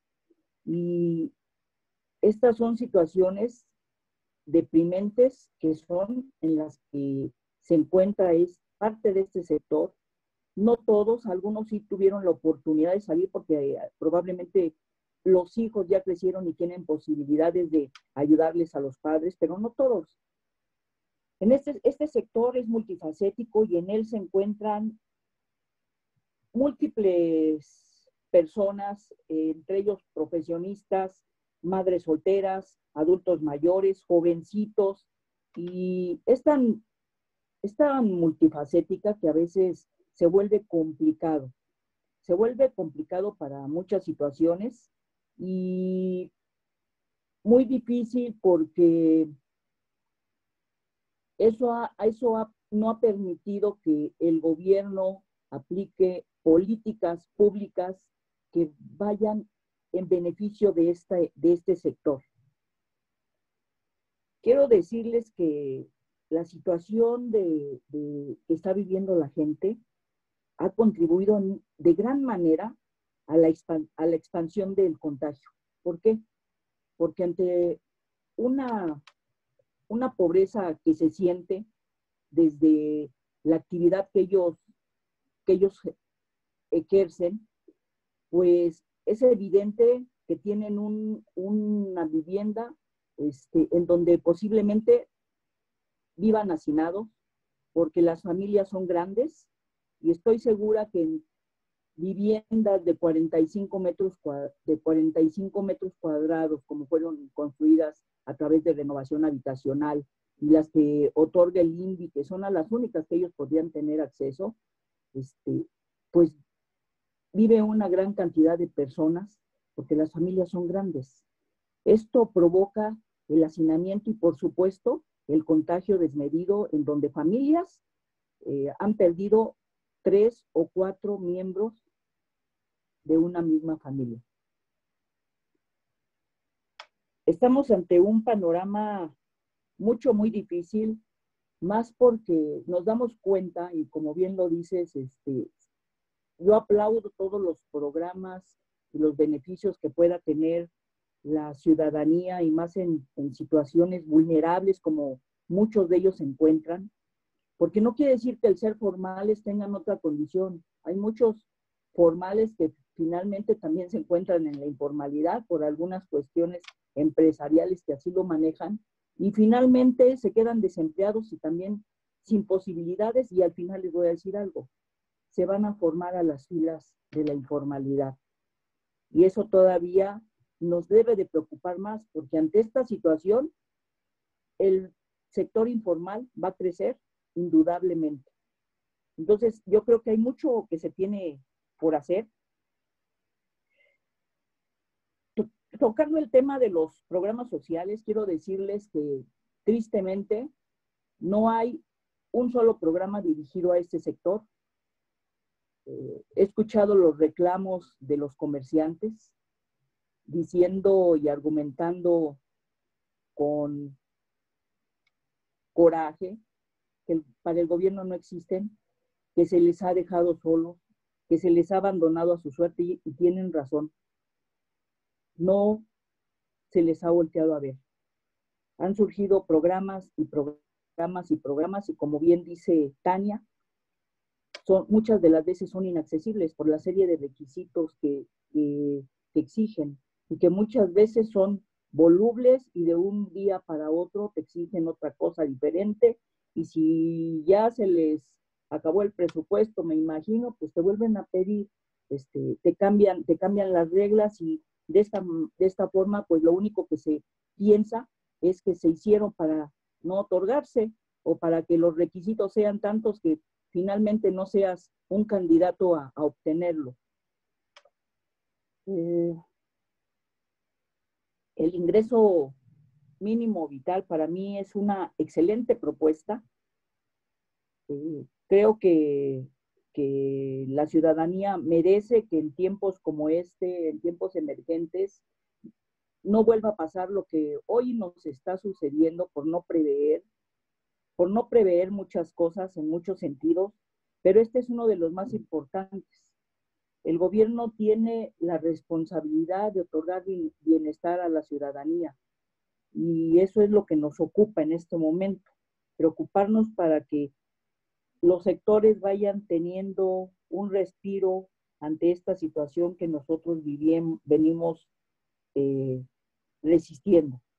Eh, hablaba yo nuevamente de, retomando lo del ingreso vital y, reconociendo que es una excelente iniciativa, pero quiero decirles tristemente que tampoco estamos incluidos, porque somos informales. Entonces debemos de trabajar en ese proceso. Yo sí hago un llamado a través tuyo, Patti, para que eh, se se trabaje también en este sentido. Yo creo que el tránsito de la informalidad a la formalidad ya es urgente. Eh, en el mundo existen dos mil millones de informales. Es un problema que viene creciendo, pero en México se resiente más, porque estamos ante casi el 60% de informalidad de la población económicamente activa. y yo creo que a raíz de que de una modificación que nosotros proponemos en el quinto constitucional eh, a través de una iniciativa que tu servidora presentó en el Congreso de la Unión el día 18 de marzo, eh, que te voy a hacer llegar. Ojalá y que de ahí este, surjan los parámetros para pensar en una situación como, que, como esta, en la que se pueda transitar y este sector que ha sido el más golpeado directamente y así lo ha declarado organismos internacionales como la OIR y el Coneval, eh, merecería que se saldara, una deuda, porque este sector siempre ha sido considerado como una válvula de escape. Y yo creo que debe de, tiene que merecer la oportunidad de dejar de ser una válvula de escape y pasar a ser palanca del desarrollo. Eso sería mucho, muy importante para nosotros. Se nos ha negado todo, hasta la posibilidad de ser partícipes en este momento de, de ser parte de la reactivación de la economía. Y yo creo que eso no puede ser posible porque el comercio en el espacio público, el comerciante ambulante, es un, es un, es un mecanismo de, de distribución de nacional que llega a los sectores populares, a las zonas más desprotegidas y además de todo es un controlador de precios. Impide en muchas de las maneras que los precios se eleven y eso ha ayudado mucho, mucho, mucho al país. Muchas gracias, este, diputada. Y en por último, Pati, por último, yo quiero, yo quiero pedirles a nombre de, a que tú a través del, Senado de la República hagas llegar la voz de los, de los comerciantes y que pueda surgir una posibilidad para que ellos tengan eh, una vida de calidad en este momento y para un futuro también. Muchas gracias. Muchas gracias, diputada. No, eh, yo creo que la propuesta del ingreso mínimo vital es precisamente no solo para trabajadores formales, sino para los trabajadores informales, o sea, todos estos que además son medidos en su gran mayoría también por el INEGI, por el Coneval, eh, sí es para trabajadores en situación de informalidad, que es desde las eh, edecanes, fotógrafos, eh, ¿no? Esta, esta, estos testimonios que hemos tenido y los eh, comerciantes en vía pública. O sea, todos, ¿por qué son informales? Porque no tienen seguridad social, porque no tienen derechos, todo eso, todos esos entrarían. Entonces, la preocupación que tú tienes es la preocupación, una de las preocupaciones centrales de esta propuesta del ingreso mínimo este, vital, que eh, por supuesto haremos todas las adecuaciones para que este sector de trabajadores sea uno de los principales beneficiados. Muchísimas gracias este, diputada y seguiremos pues dialogando, ¿no? Para ver que el Congreso de la Unión pues tome en cuenta este punto de acuerdo y la iniciativa que tú has, eh, que tú has eh, promovida. Eh, le daría la palabra, muchas gracias, diputada, a Marcela, Marcela Suela, ella es directora del colectivo Hogar Justo Hogar. Marcela, tú representas una organización de empleadores, empleadoras, de trabajadoras del, del hogar. ya oímos a Marcelina lo que está pasando. ¿Qué, podría significar que estas trabajadoras recibieran este ingreso mínimo vital incluso pues para aquellas que rever a sus empleadores pues no tienen en este momento ninguna posibilidad de, pagarles y entonces están viviendo esta situación tan, tan complicada y quizás ese ingreso pues puede ayudar a que puedan reencontrarse, ¿no? Terminando esta, esta crisis. ¿Cómo la están viendo ustedes? Absolutamente, Pati. Gracias de veras por la invitación, gracias por esta iniciativa. Creo que hace una diferencia real en lo que pueden estar viviendo y sufriendo las trabajadoras en este momento. Como les comentaba Marcelina, desde que empezó esta contingencia nos hemos puesto manos a la obra con todo lo que sea posible, primero solicitándole a los empleadores y empleadoras que, que fueran pues lo más solidarios posibles y lo más comprometidos con sus trabajadoras, ¿no? Como nuestras empleadas, pues necesitaban que estuviéramos al pie del cañón, haciendo muchos llamados a cuida, quien nos cuida, tanto que nos han cuidado toda la vida las trabajadoras este es un momento de ser solidarios, contagiemos solidaridad, en fin, hemos apelado a eso y lo seguiremos haciendo. Sin embargo, son muchas personas empleadoras las que también nos dicen que su situación es dificilísima, que han perdido muchos ingresos, algunos están siendo despedidos, pues no les podemos exigir a quien no tiene ingresos que siga pagando los ingresos a la trabajadora del hogar, ¿no? Son varias las cosas que viven las trabajadoras del hogar, unas pues que fueron despedidas definitivamente, otras que fueron enviadas a descansar, descansadas, pero tampoco con ningún sueldo y viven cosas pues muy complicadas. Muchas de ellas son jefas de familia, se encargan también económicamente no solo de sus hijos, sino también de sus padres. Entonces no es arrojar nada más a una persona a no tener con qué comer, sino a familias completas que estaban dependiendo de ellas, ¿no? Y de estas situaciones. Entonces, bueno, pues empezamos mucho a hacer estos llamados, buscar muchos espacios en medios de comunicación, hablar con empleadores, empleadoras, pedirles que sean lo más justos posibles. ¿Qué quiere decir eso? Que si a mí me bajan el 15% de mi sueldo, yo a la trabajadora le baje el 15% de su sueldo, no la despida por completo, no la arroje así a la, a la miseria, ¿no? Lo segundo que hemos estado haciendo, pues, es buscar campañas de recaudación de fondos. Organizamos con nosotros, con Hogar Justo Hogar, con un grupo de scouts que, que con el que nos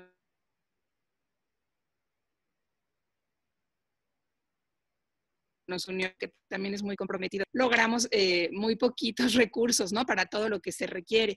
También hemos estado, pues, cerca de otras iniciativas para que haya alivios solidarios, les llamamos, para que personas que no están perdiendo sus recursos y que están en condiciones de apoyar, apoyen y den una cantidad mensual durante esta contingencia. Hemos estado también muy cerquita de las, de las propuestas y de las iniciativas que han salido desde el gobierno federal. Una de ellas, de Conasami, apela a que se pueda aplazar el pago del seguro social de las trabajadoras del hogar.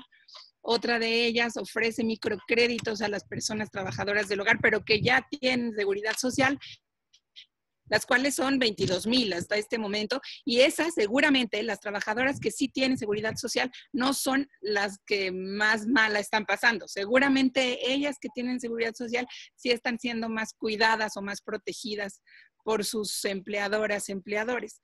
Eh, lo de los créditos a mí me pone muy nerviosa, si les digo con honestidad, porque si bien está muy bien que las trabajadoras del hogar sean acreedoras a un crédito, poner a la gente a endeudarse para pagar lo mínimo para subsistir es gravísimo y las arroja también a una situación que tarde o temprano eh, va a ser muy complicada de enfrentar económicamente. Entonces, en ese sentido, esta iniciativa es la que me parece pues la más comprometida por parte del Estado, la más comprometida, la que lo, celebro muchísimo que no se les exijan trámites y trámites y comprobantes o cartas, que la verdad esto no es solo para trabajadoras, sino para tanta gente que uno pasa por, por las calles de vez en cuando y ve todo vacío y dices, ¿cuánta gente está perdiendo sus ingresos? Los boleadores de zapatos, las personas que trabajan en estéticas, bueno, todos los que ya enumeraron mis compañeros, pero podríamos enumerar muchísimas más. Y creo que este ingreso mínimo vital pues es lo que tenía que suceder por parte del Estado. Lo celebro, me, me, me, da un inmenso gusto.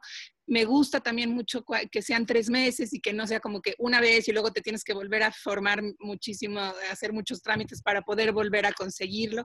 Que pueda extenderse a cinco meses también.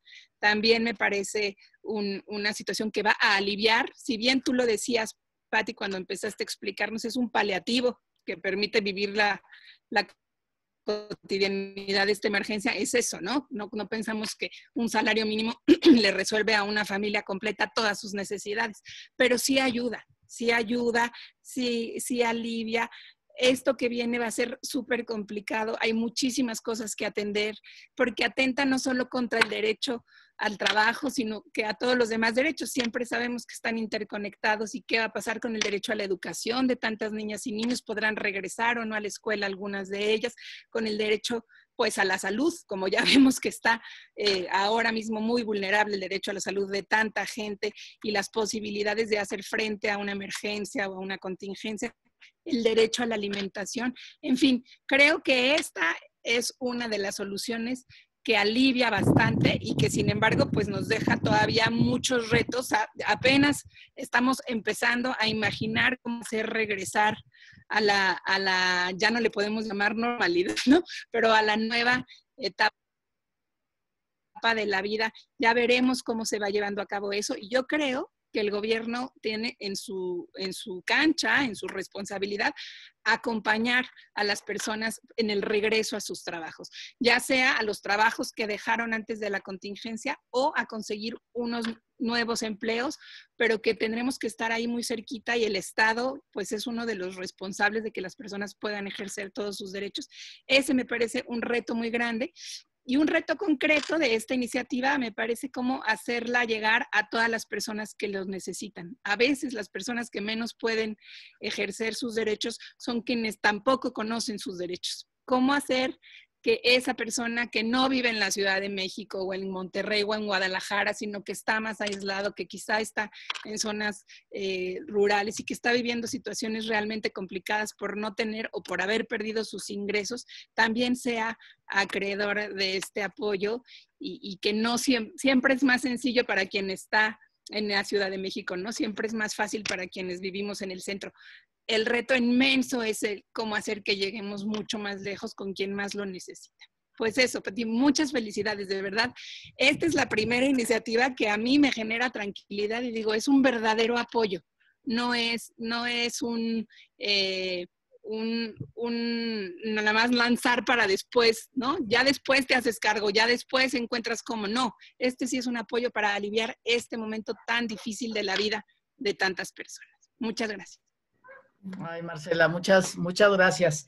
Eh, hablaste exactamente de lo que representas. Hogar, justo hogar. Hablaste de justicia, de derechos y de eso, de eso se trata. Muchas gracias por tus reflexiones que nos ayuda a ver, a, fortalecer el argumento, ¿no? A fortalecer el argumento, el mensaje, la evidencia de lo que necesitamos en este momento para que todos podamos reaccionar bien. Muchas gracias, eh, Marcela. Pues ahora le daría la palabra a la académica del Colegio de México, Rosario eh, Aparicio, ¿no? Como decíamos, ella está estudiando este, el, tema del, trabajo y todo lo que está alrededor de eso. Y bueno, pues se nos vino encima el futuro con esta pandemia.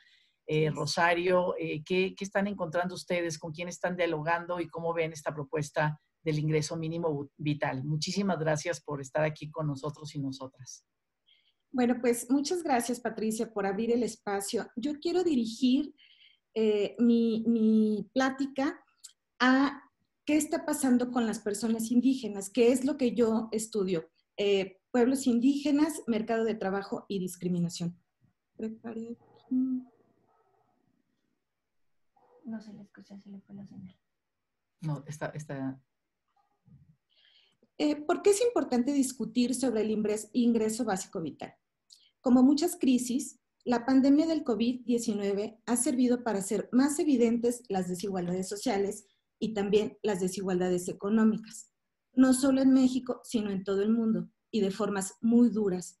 Es por eso que es urgente que como sociedad discutamos y visibilicemos lo que está pasando con los sectores más desprotegidos del país y que sufren las desigualdades de género por su condición étnica y de clase más agudamente en este contexto del SARS-CoV-2.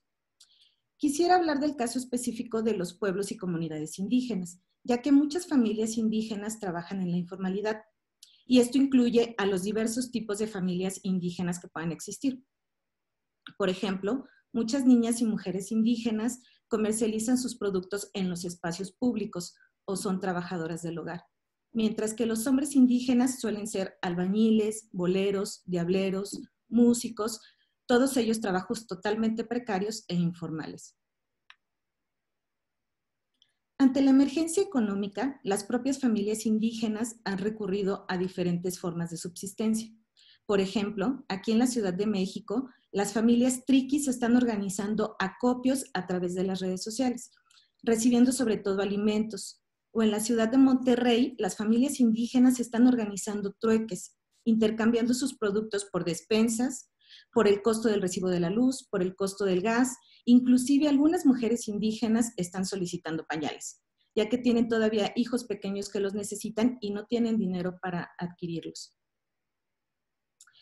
Entonces, ¿cómo beneficiaría un ingreso básico vital y focalizado a estas familias indígenas que se encuentran en el decil más pobre?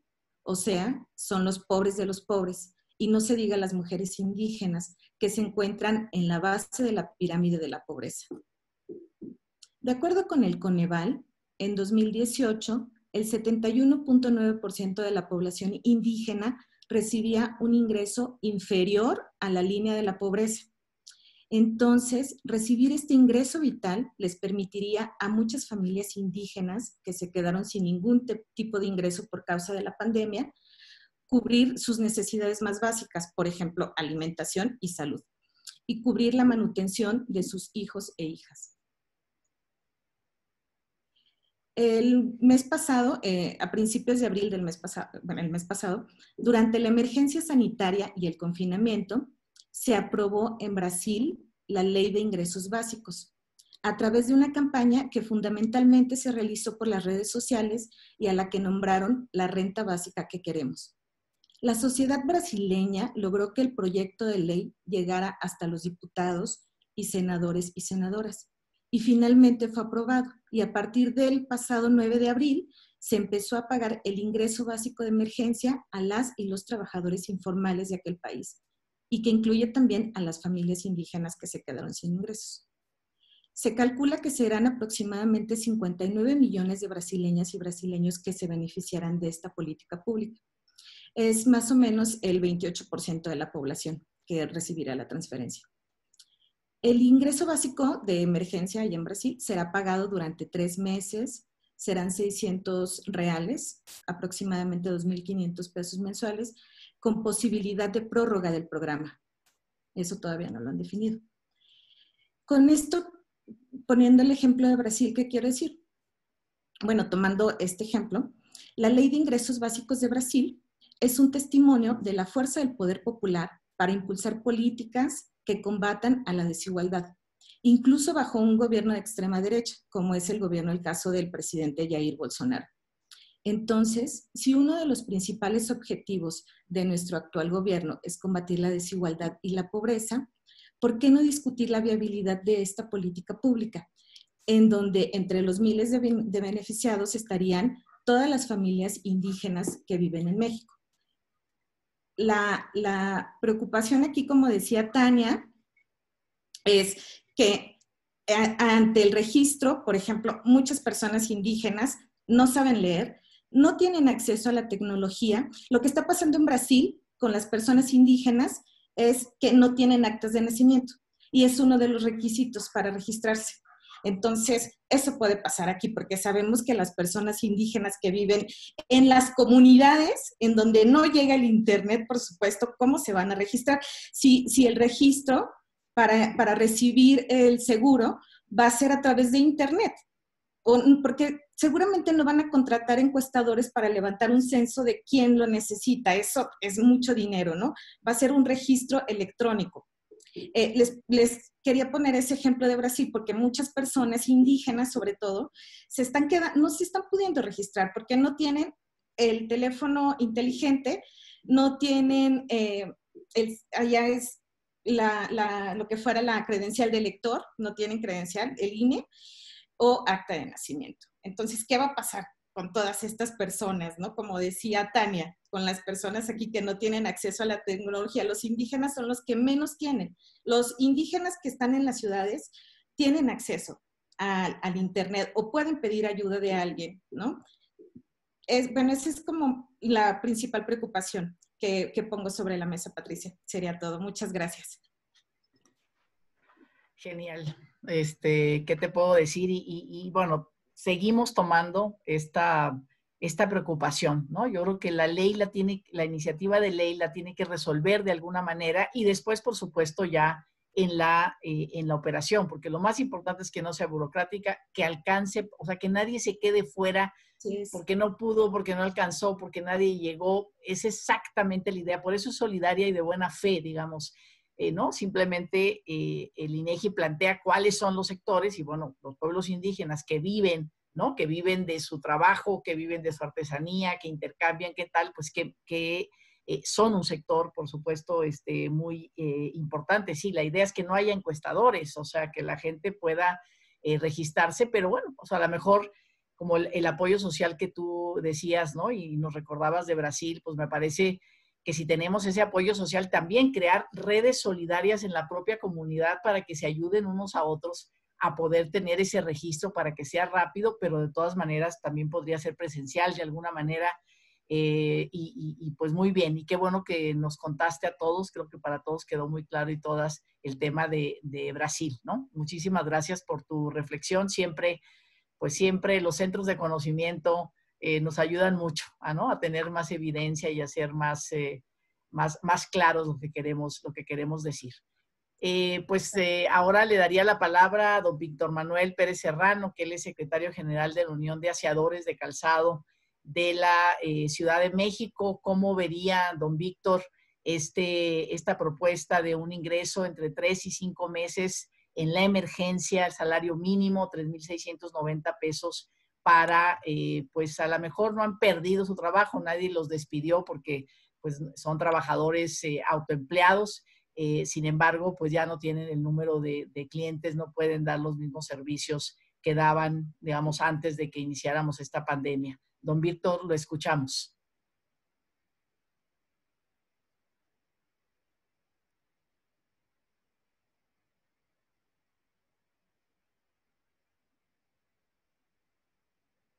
Sí, buenas tardes, ¿se me escuchan?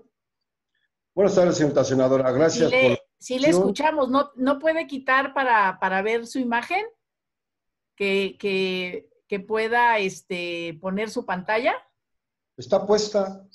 ¿Sí? ¿No, no, está en, ¿No está en rojo? Porque no lo vemos, pero sí lo escuchamos. Pero bueno, pues ahí está, ahí está, don Víctor. Gracias. Buenas tardes, nuevamente buenas tardes a todos, un abrazo.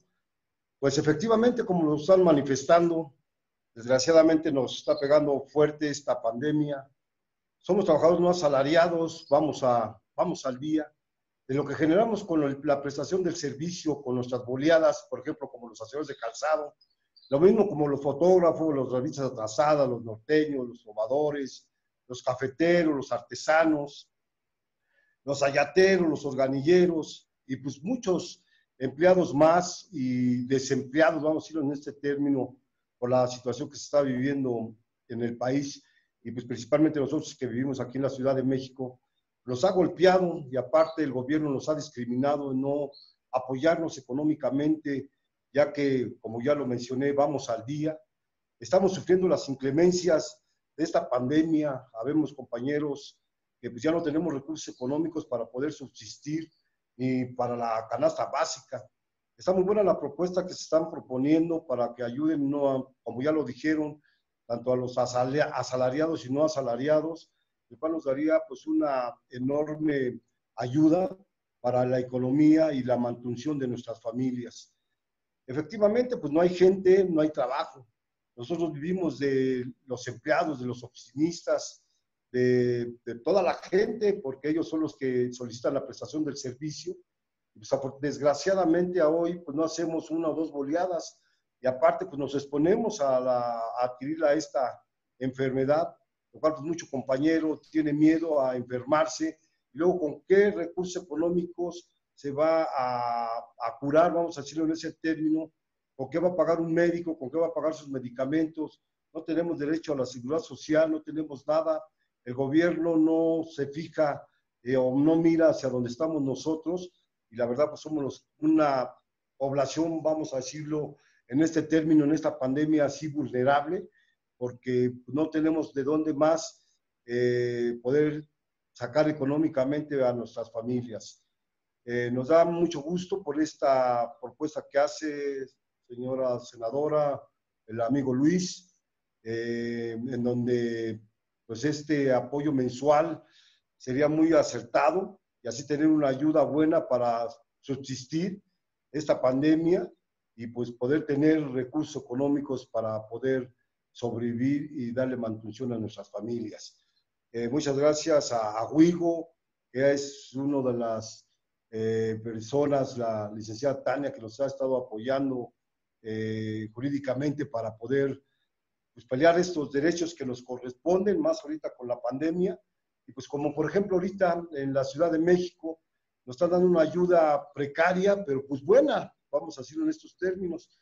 Pero desgraciadamente ya llevamos dos meses y no hemos tenido que baje la ayuda, que baje el recurso para poder tener la, la mantención para la familia. Eh, nos ponen mucha burocracia, muchos requisitos, eh, los correos, las páginas, los teléfonos, eh, no sirven saturados o no contestan, suenan ni suenan, y pues pura demagogia del gobierno, lo cual la verdad pues sí nos molesta, nos incomoda, que nos quieran usar como conejillos de India. estamos tratando de hacerlo ya directamente el registro, llevando a los compañeros a la STIFE para que nos den ese registro, baje la, el número de cuenta, eh, la clave y todo eso, pero hasta el momento, vuelvo a repetirles, han sido muy pocos, mínimos, los, las ayudas que han bajado.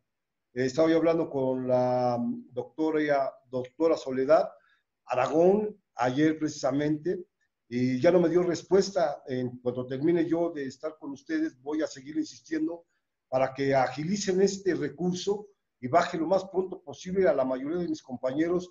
Por vuelvo a repetirles, pues la verdad sí estamos en ceros, estamos viviendo una situación muy, muy complicada y pues no tenemos trabajo. Eh, hay compañeros que van y nos hacen una boleada.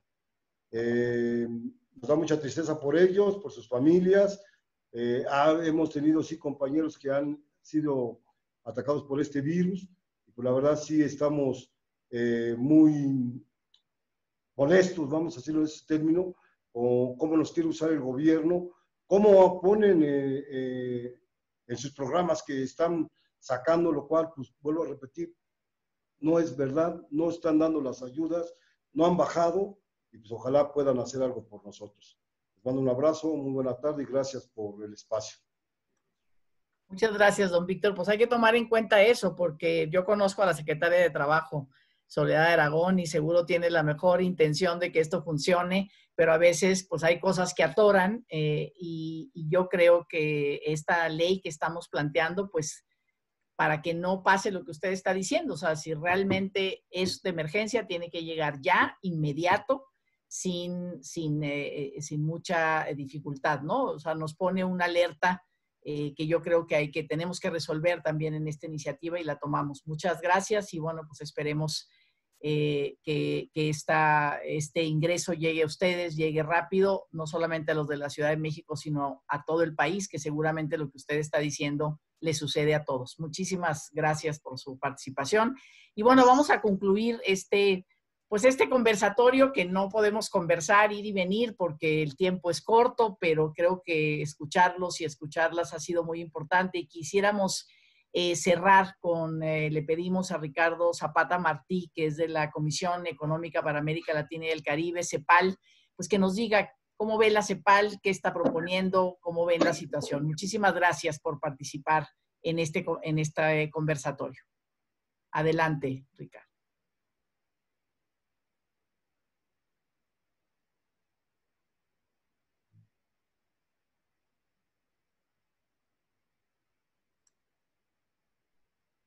Ricardo, ¿no lo estamos escuchando? Buenas tardes, sí, ¿cómo está? Mucho gusto. Tenía yo problemas. Para que es abajo, Ricardo. Eh, eh, no sé si eh, logran ustedes ver en pantalla la presentación. Sí, ya la vemos. Ya, perfecto. Sí, tengo una presentación breve que como le decía Luis, le estoy haciendo a título absolutamente personal. Yo trabajé muchos años en la CEPAL, pero en este momento no soy funcionario oficial de la CEPAL, de todas maneras quisiera eh, compartir con ustedes unas reflexiones en cuanto a lo, cuáles son las recomendaciones que en el caso de la CEPAL y en otros organismos internacionales están viendo respecto al reto que plantea el COVID-19. De hecho, eh, la, la pandemia ocurre en un momento en que ya se venían hablando de una serie de temas de política social a nivel mundial y que reflejaban una inquietud bastante generalizada de los crecimientos de la desigualdad y la inequidad a nivel mundial, no solo en países en desarrollo, sino incluso en los países industriales. En todo caso, quisiera plantearles que las Naciones Unidas, el propio secretario general, ha lanzado cinco pilares sobre los cuales debería reconstruirse el retorno de esta pandemia. Primero, la salud, y en esto creo que hay un acuerdo mientras la curva de contagio no sea controlada, mientras no haya pruebas suficientes para ver cuál es la dispersión del, virus y mecanismos de evitar el contagio o incluso de vacunas, vamos a seguir teniendo la espada de Damocles de la enfermedad y esto va a frenar, va a alentar, puede entorpecer el regreso a las actividades económicas y productivas.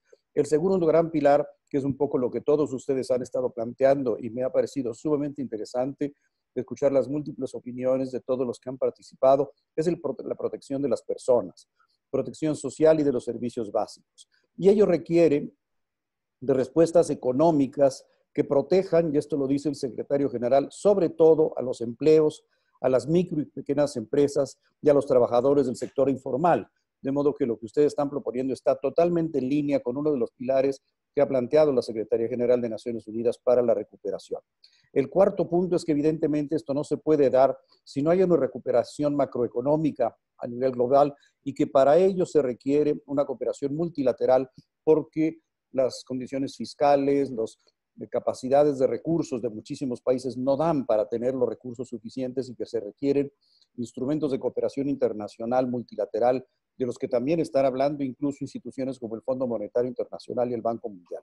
Y que por lo tanto ello apela a usar el fenómeno de la pandemia no como un mecanismo más de exclusión, cuando tenemos ya problemas estructurales de exclusión social muy generalizados e inclusive crecientes en el mundo, para más bien retornar a procesos de cohesión social y promover a nivel de las comunidades una mayor resiliencia. Esto se traduce en estos puntos que señalo. Hay que enfocarse en las personas más vulnerables y más afectadas. Hay que restaurar capacidades y generar nuevas capacidades. Alguien hablaba de la capacidad de cambiar de una actividad a otra. La movilidad laboral es fundamental. Reconstruir los medios de vida de las personas, apoyar procesos de recuperación espontánea, porque cuando hay un desastre como este, cuando hay una pandemia como esta, empiezan a haber procesos de recuperación negativa. Bien lo señalaban Luis, me parece, la gente que empeña sus recursos, la gente que se deshace de su poco patrimonio, la gente que cae en la usura y que no puede de esa forma tener una recuperación positiva. Esto requiere ser incluyentes y esto es lo que ustedes plantean. Es obviamente un tema de inclusión. Hay que ser sensibles al conflicto porque de no serlo, de no ser un proceso participativo, podemos tener explosiones de violencia social. Y esto va junto y de la mano del tema de reducir el riesgo a eventos similares. Desastres como este, quizás decimos, bueno, la fiebre española fue hace 100 años, pero no es que ocurran cada 100 años. Y crecientemente, por la globalización misma de los medios de transporte y de las actividades, es muy posible que se transmitan este tipo de riesgos sanitarios con mayor frecuencia.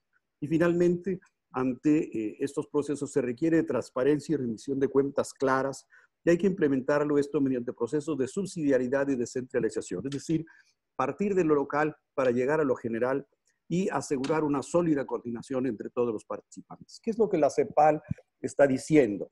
Primero, que tienen que garantizarse transferencias monetarias temporales para satisfacer necesidades básicas y sostener el consumo de los hogares. Su propuesta es justamente esto lo que usted está planteando. Y ello habla de cinco grupos de la población. Un planteamiento universal, que sería el ideal, toda la población en situación de pobreza, los problemas que obviamente no alcanzan los recursos, trabajadores de la informalidad en un rango de edad, todos los niños y niñas adolescentes, todas las personas mayores de 65 años. Esas son decisiones que se tienen que tomar. Ustedes están focalizándose en lo que sería el cuadro azul, toda la población en situación de pobreza hasta donde alcance los recursos. La CEPAL hizo un planteamiento de cuál sería el monto mensual de transferencias per cápita a nivel de América Latina y el Caribe se habla de un monto que sería similar al de la línea de extrema pobreza, 67 dólares en el 2010, y que equivale al costo de adquirir una canasta básica de alimentos. La otra sería la línea de pobreza, que a nivel de América Latina se sitúa en 143 dólares, o eh, considerar otras cantidades como las que ustedes están planteando. La duración, también la CEPA lo indica, puede ser de 3, de 6 o hasta 12 meses y depende evidentemente de la evolución de dos curvas, una la epidemiológica y otra la de la rapidez o lentitud de la recuperación de las actividades económicas productivas. Por lo tanto, la CEPAL propone transferencias por un monto igual a la línea de pobreza durante un periodo de seis meses. Y están aquí los montos que representarían para América Latina y el Caribe la estimación del costo adicional de esas transferencias monetarias durante ese periodo. Esto implicaría, en general, un gasto adicional del 2.8% del PIB, del PIB, del Producto Interno Bruto, para abarcar a las personas que se encuentran en situación de pobreza. Y el gasto adicional se calcula, obviamente, restando el gasto existente en programas condicionados y pensiones sociales. ¿Cuáles son algunos de los problemas de articular este mecanismo? Primero, se requiere sí tomar una decisión política, más que técnica, de medidas de protección social de corto plazo, necesarias para atender las manifestaciones más agudas de la emergencia. Ello plantea ciertamente desafíos operacionales, muchos de ellos ustedes ya los han planteado. La bancarización escasa en la población, el tema de completar los registros y los trámites burocráticos necesarios y cómo se actualizan y se interconectan los diferentes registros sociales de beneficiarios de programas por un lado, de derechohabientes por otro, y de los que caen, que no tienen ningún registro porque no aparecen en ninguno de ellos. Ello plantea necesidad de medidas de mediano y largo plazo, orientadas a garantizar el ejercicio de los derechos de las personas. Es claro que hay derechos constitucionales, incluso a nivel de la Ciudad de México, que plantean la necesidad de un ingreso garantizado mínimo y que permite el fortalecimiento de un estado de bienestar y la provisión universal de protección social. ¿Qué es lo que significa en lo inmediato? Un ingreso equivalente a una línea de pobreza durante seis meses, con una visión estratégica de que esto puede ser un primer paso a una propuesta de un ingreso básico universal que incluya la protección social universal en salud, en pensiones, en seguro de desempleo y avance a una visión de estado de bienestar con base en un nuevo pacto social que tiene que ser fiscal, social y productivo. Y no podemos diseñar la parte fiscal.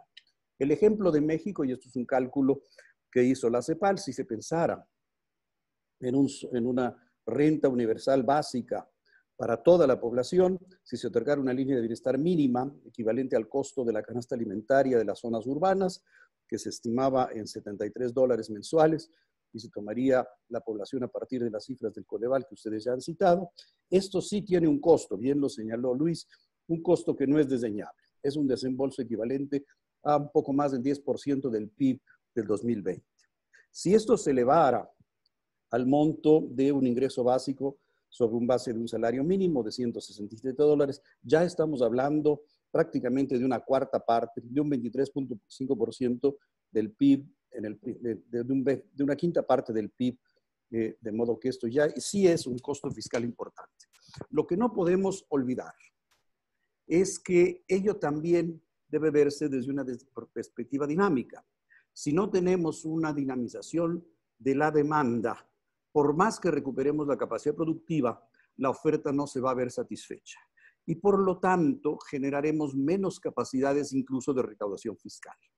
Por esto, yo sugiero que hay que tomar un enfoque, que es el que ustedes están proponiendo, hacia lo que llamo yo una reapertura apropiada, equilibrada y socialmente sensible apropiada en lo sanitario, tienen que tomarse medidas de reapertura para evitar el recontagio o el repunte, tiene que ser equilibrada en lo sanitario, en lo económico y en lo social, es decir, medidas de recuperación de ofertas sin demanda no bastan, medidas de apoyo al ingreso que ayuden en la recuperación productiva y que van a aportar recursos fiscales también medidas socialmente sensibles, es decir, visibilizar a los grupos sociales que se aglutinan en lo que mal llamamos informalidad, porque es un grupo multifacético que incluye cuentapropistas, trabajadores independientes, ambulantes, personal doméstico, etcétera, que no es homogéneo, que no tiene las mismas necesidades ni las mismas capacidades. Y estimamos que es importante recalcar que esto tiene que ser una medida temporal. Es solo un primer paso Ello permite un alivio de un vacío no atendido de una política social que no existe y que genera, como estamos viendo, la falta de esa política social, pérdidas económicas y sociales enormes. Por lo tanto, de este primer paso tiene que verse estratégicamente como el avance hacia una propuesta ya no temporal, sino permanente. Es decir, prevenir que esto ocurra de nuevo va a tener menos costos que tener que remediar el próximo desastre. Muchísimas gracias. Pues muchas gracias. Hay que, yo creo que también todos los elementos que has dado y que nos recomienda la CEPAL, pues fortalece, ¿no? Fortalece esta propuesta que estamos, eh, que estamos haciendo y vamos a reflexionar sobre, sobre cómo podríamos fortalecer nuestra iniciativa a partir de los elementos que has dado. De verdad, eh, Ricardo, muchas gracias y seguramente en tu relación con la organización nosotros, pues ya están viendo eh, también cómo, cómo fortalecer y, bueno, sentirnos apoyados por la CEPAL, me parece que ese es un, es un diálogo, es un elemento muy importante además para tanto para el Congreso como para el, Poder Ejecutivo, ¿no? De que, de que eh, este ingreso mínimo vital pues va, va en el camino, digamos, va en el camino de toda esta serie de análisis y recomendaciones, quizás un primer paso de todo lo que tendríamos que hacer y que hemos escuchado acá, ¿no? Que eh, con los distintos trabajadores y trabajadoras. Pues ahora sí vamos a concluir con la voz de un trabajador eh, que eh, es un trabajador del ramo de la tecnología de la información. esto es importante porque efectivamente todos, ¿no? Desde, desde los trabajadores en vía pública, trabajadoras, trabajadoras del hogar, y estos eh, trabajadores que finalmente también son informales porque no tienen acceso a una seguridad social, porque están perdiendo sus ingresos. Bueno, pues cerremos con, eh, con tus palabras, con tu mensaje y con tu, eh, digamos, cómo, cómo ves esta iniciativa de ingreso, de ingreso vital. José María Castanedo Gómez, también de la, del Consejo Nacional Laboral. Muchas gracias por, por todos ustedes de haber participado en este, en este foro. Te escuchamos. Muchas gracias, senadora. Buenas tardes a todos. En realidad soy estudiante de sociología, pero soy delegado sindical para empresas de tecnologías de la información. Bueno, eh, esta rama de industria se dedica al estudio, diseño, desarrollo, aplicación, implementación, soporte y mantenimiento de sistemas computacionales de información. El valor de las tecnologías de información recae en la, automatización de procesos de negocio, provisión de información para la toma de decisiones, conectando los negocios con sus clientes y la provisión de herramientas de productividad para incrementar la eficiencia. A pesar de que la tecnología ha sido el gran habilitador para tratar de mantener lo más posible de la cotidianidad, el cierre de las cadenas de suministro y la baja en la compra de equipos computacionales contraerán al sector entre un 4 y 9% según proyecciones de IDS México. Sin embargo, los mayores impactos para la industria y particularmente para sus trabajadores, más allá de la caída de ventas en equipos, se verán en el aplazamiento de proyectos. En las empresas con las que tenemos relación, hemos presenciado una disminución considerable de actividad, específicamente en el área de desarrollo, Decenas de proyectos han sido suspendidos, lo que ha provocado que cientos de trabajadores sean relegados de sus funciones. La gran mayoría de ellos han visto reducido su ingreso y otros cuantos han dejado de recibir la totalidad de su salario. Mientras tanto, permanecen a la espera de poder ser reincorporados a un proyecto. Las empresas que mantuvieron sus proyectos de tecnologías de la información o TI pues, han permitido que se pueda mantener específicamente a quienes dan servicio y mantenimiento a dichas empresas. Por otro lado, algunos trabajadores han logrado mantener su empleo gracias al aumento en la demanda de servicios de, ciberseguridad y comercio digital. A pesar de ello, el crecimiento de estos servicios no ha permitido mantener a la totalidad de trabajadores y sus salarios. La proyección de la industria es que estos dos servicios crezcan considerablemente. Sin embargo, esto requerirá que los trabajadores se capaciten para adquirir las habilidades que demandan estos mercados emergentes. Esta situación ha provocado que trabajadores inactivos incursionen en el freelancing, buscando tener un ingreso mientras regresan a sus actividades. Sin embargo, la situación en el freelancing, como lo comentó Victoria, al igual que en el sector empresarial, también es incierta. ¿Qué? Sí. La expectativa es que esta rama de industria comience a reactivarse de cara al último cuatrimestre del año, lo que implicaría que poco a poco los trabajadores inactivos puedan ir sumándose nuevamente a los proyectos aplazados. En relación con el ingreso vital mínimo, eh, pues la historia nos ha mostrado que las políticas gubernamentales se convierten en un asunto de vida o muerte durante una crisis económica. En este caso, una crisis económica provocada por una emergencia sanitaria, lo que agrava la situación aún más. Solemos creer que las crisis económicas impactarán únicamente nuestro ingreso. Sin embargo, hay ejemplos de sobra que indican que las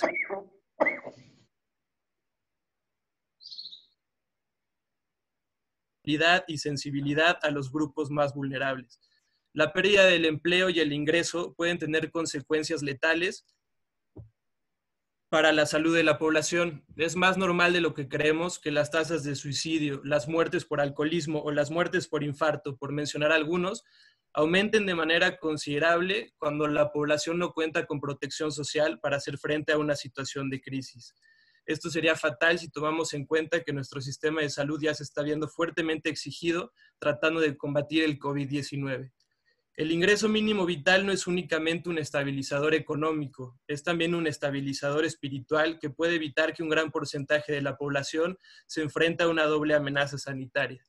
Me gustaría acabar mi participación con una eh, cita de David Stockler y Sanjay Basu, dos académicos de la Universidad de Oxford y Stanford respectivamente, expertos en salud pública y epidemiología. El precio de la autoridad se calcula en vidas humanas, y lamentablemente esas vidas humanas no regresarán cuando el mercado se recupere. Gracias por el espacio. Muy buena reflexión, muy buena reflexión, Armando. Y como dirigente sindical, pues esperemos que eh, puedas difundir esta propuesta, porque necesitamos como muchas voces, ¿no? Muchas voces diciendo si es posible, si lo necesitamos, eh, a veces solamente se, piensa en trabajadores de mucha precariedad, pero finalmente los trabajadores que tú representas, si bien tenían a lo mejor ingresos mayores a cinco o seis salarios mínimos, en este momento no tienen nada.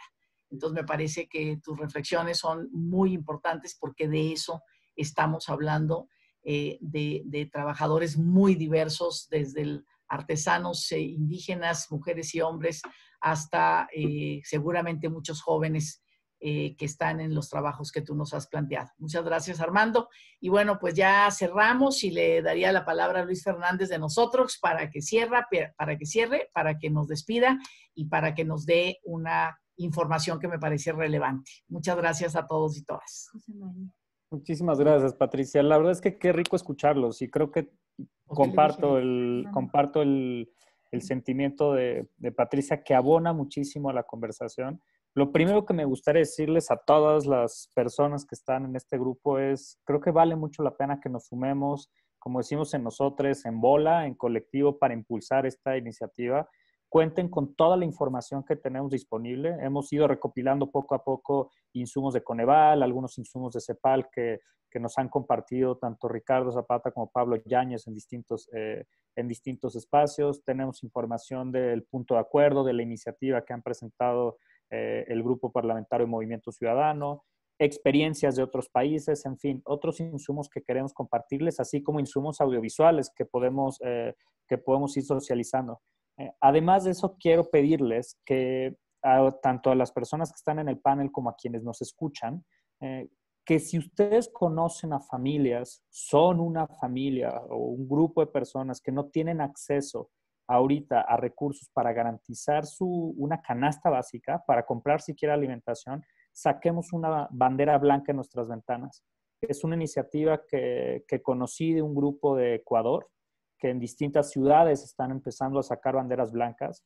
Nos parece muy simbólico, creo que es muy representativo para que podamos dimensionar lo que significa esto en el país una bandera blanca que puedan en sus puertas, una bandera blanca que puedan poner en sus ventanas y con eso que podemos dimensionar el tamaño de la crisis. Esto tendría dos consecuencias. Por un lado, que las personas que identifiquen a familias o personas que tienen eso en la puerta, que puedan ayudar directamente, creando una red de solidaridad en el país. Y segundo, que eso nos permita dimensionar en términos de política y de política pública el tamaño de la crisis y que con esto podamos empezar a tomar medidas, ya sea impulsándolo con nuestros propios, con los gobernadores de nuestras entidades federativas, con los poderes legislativos de nuestras entidades federativas, y creo que la más importante, que es esta medida estructural, la más grande que estamos proponiendo, desde el Ejecutivo Federal o con el Congreso, con la iniciativa de ley que, ha presentado, que han presentado eh, los, los y las legisladoras.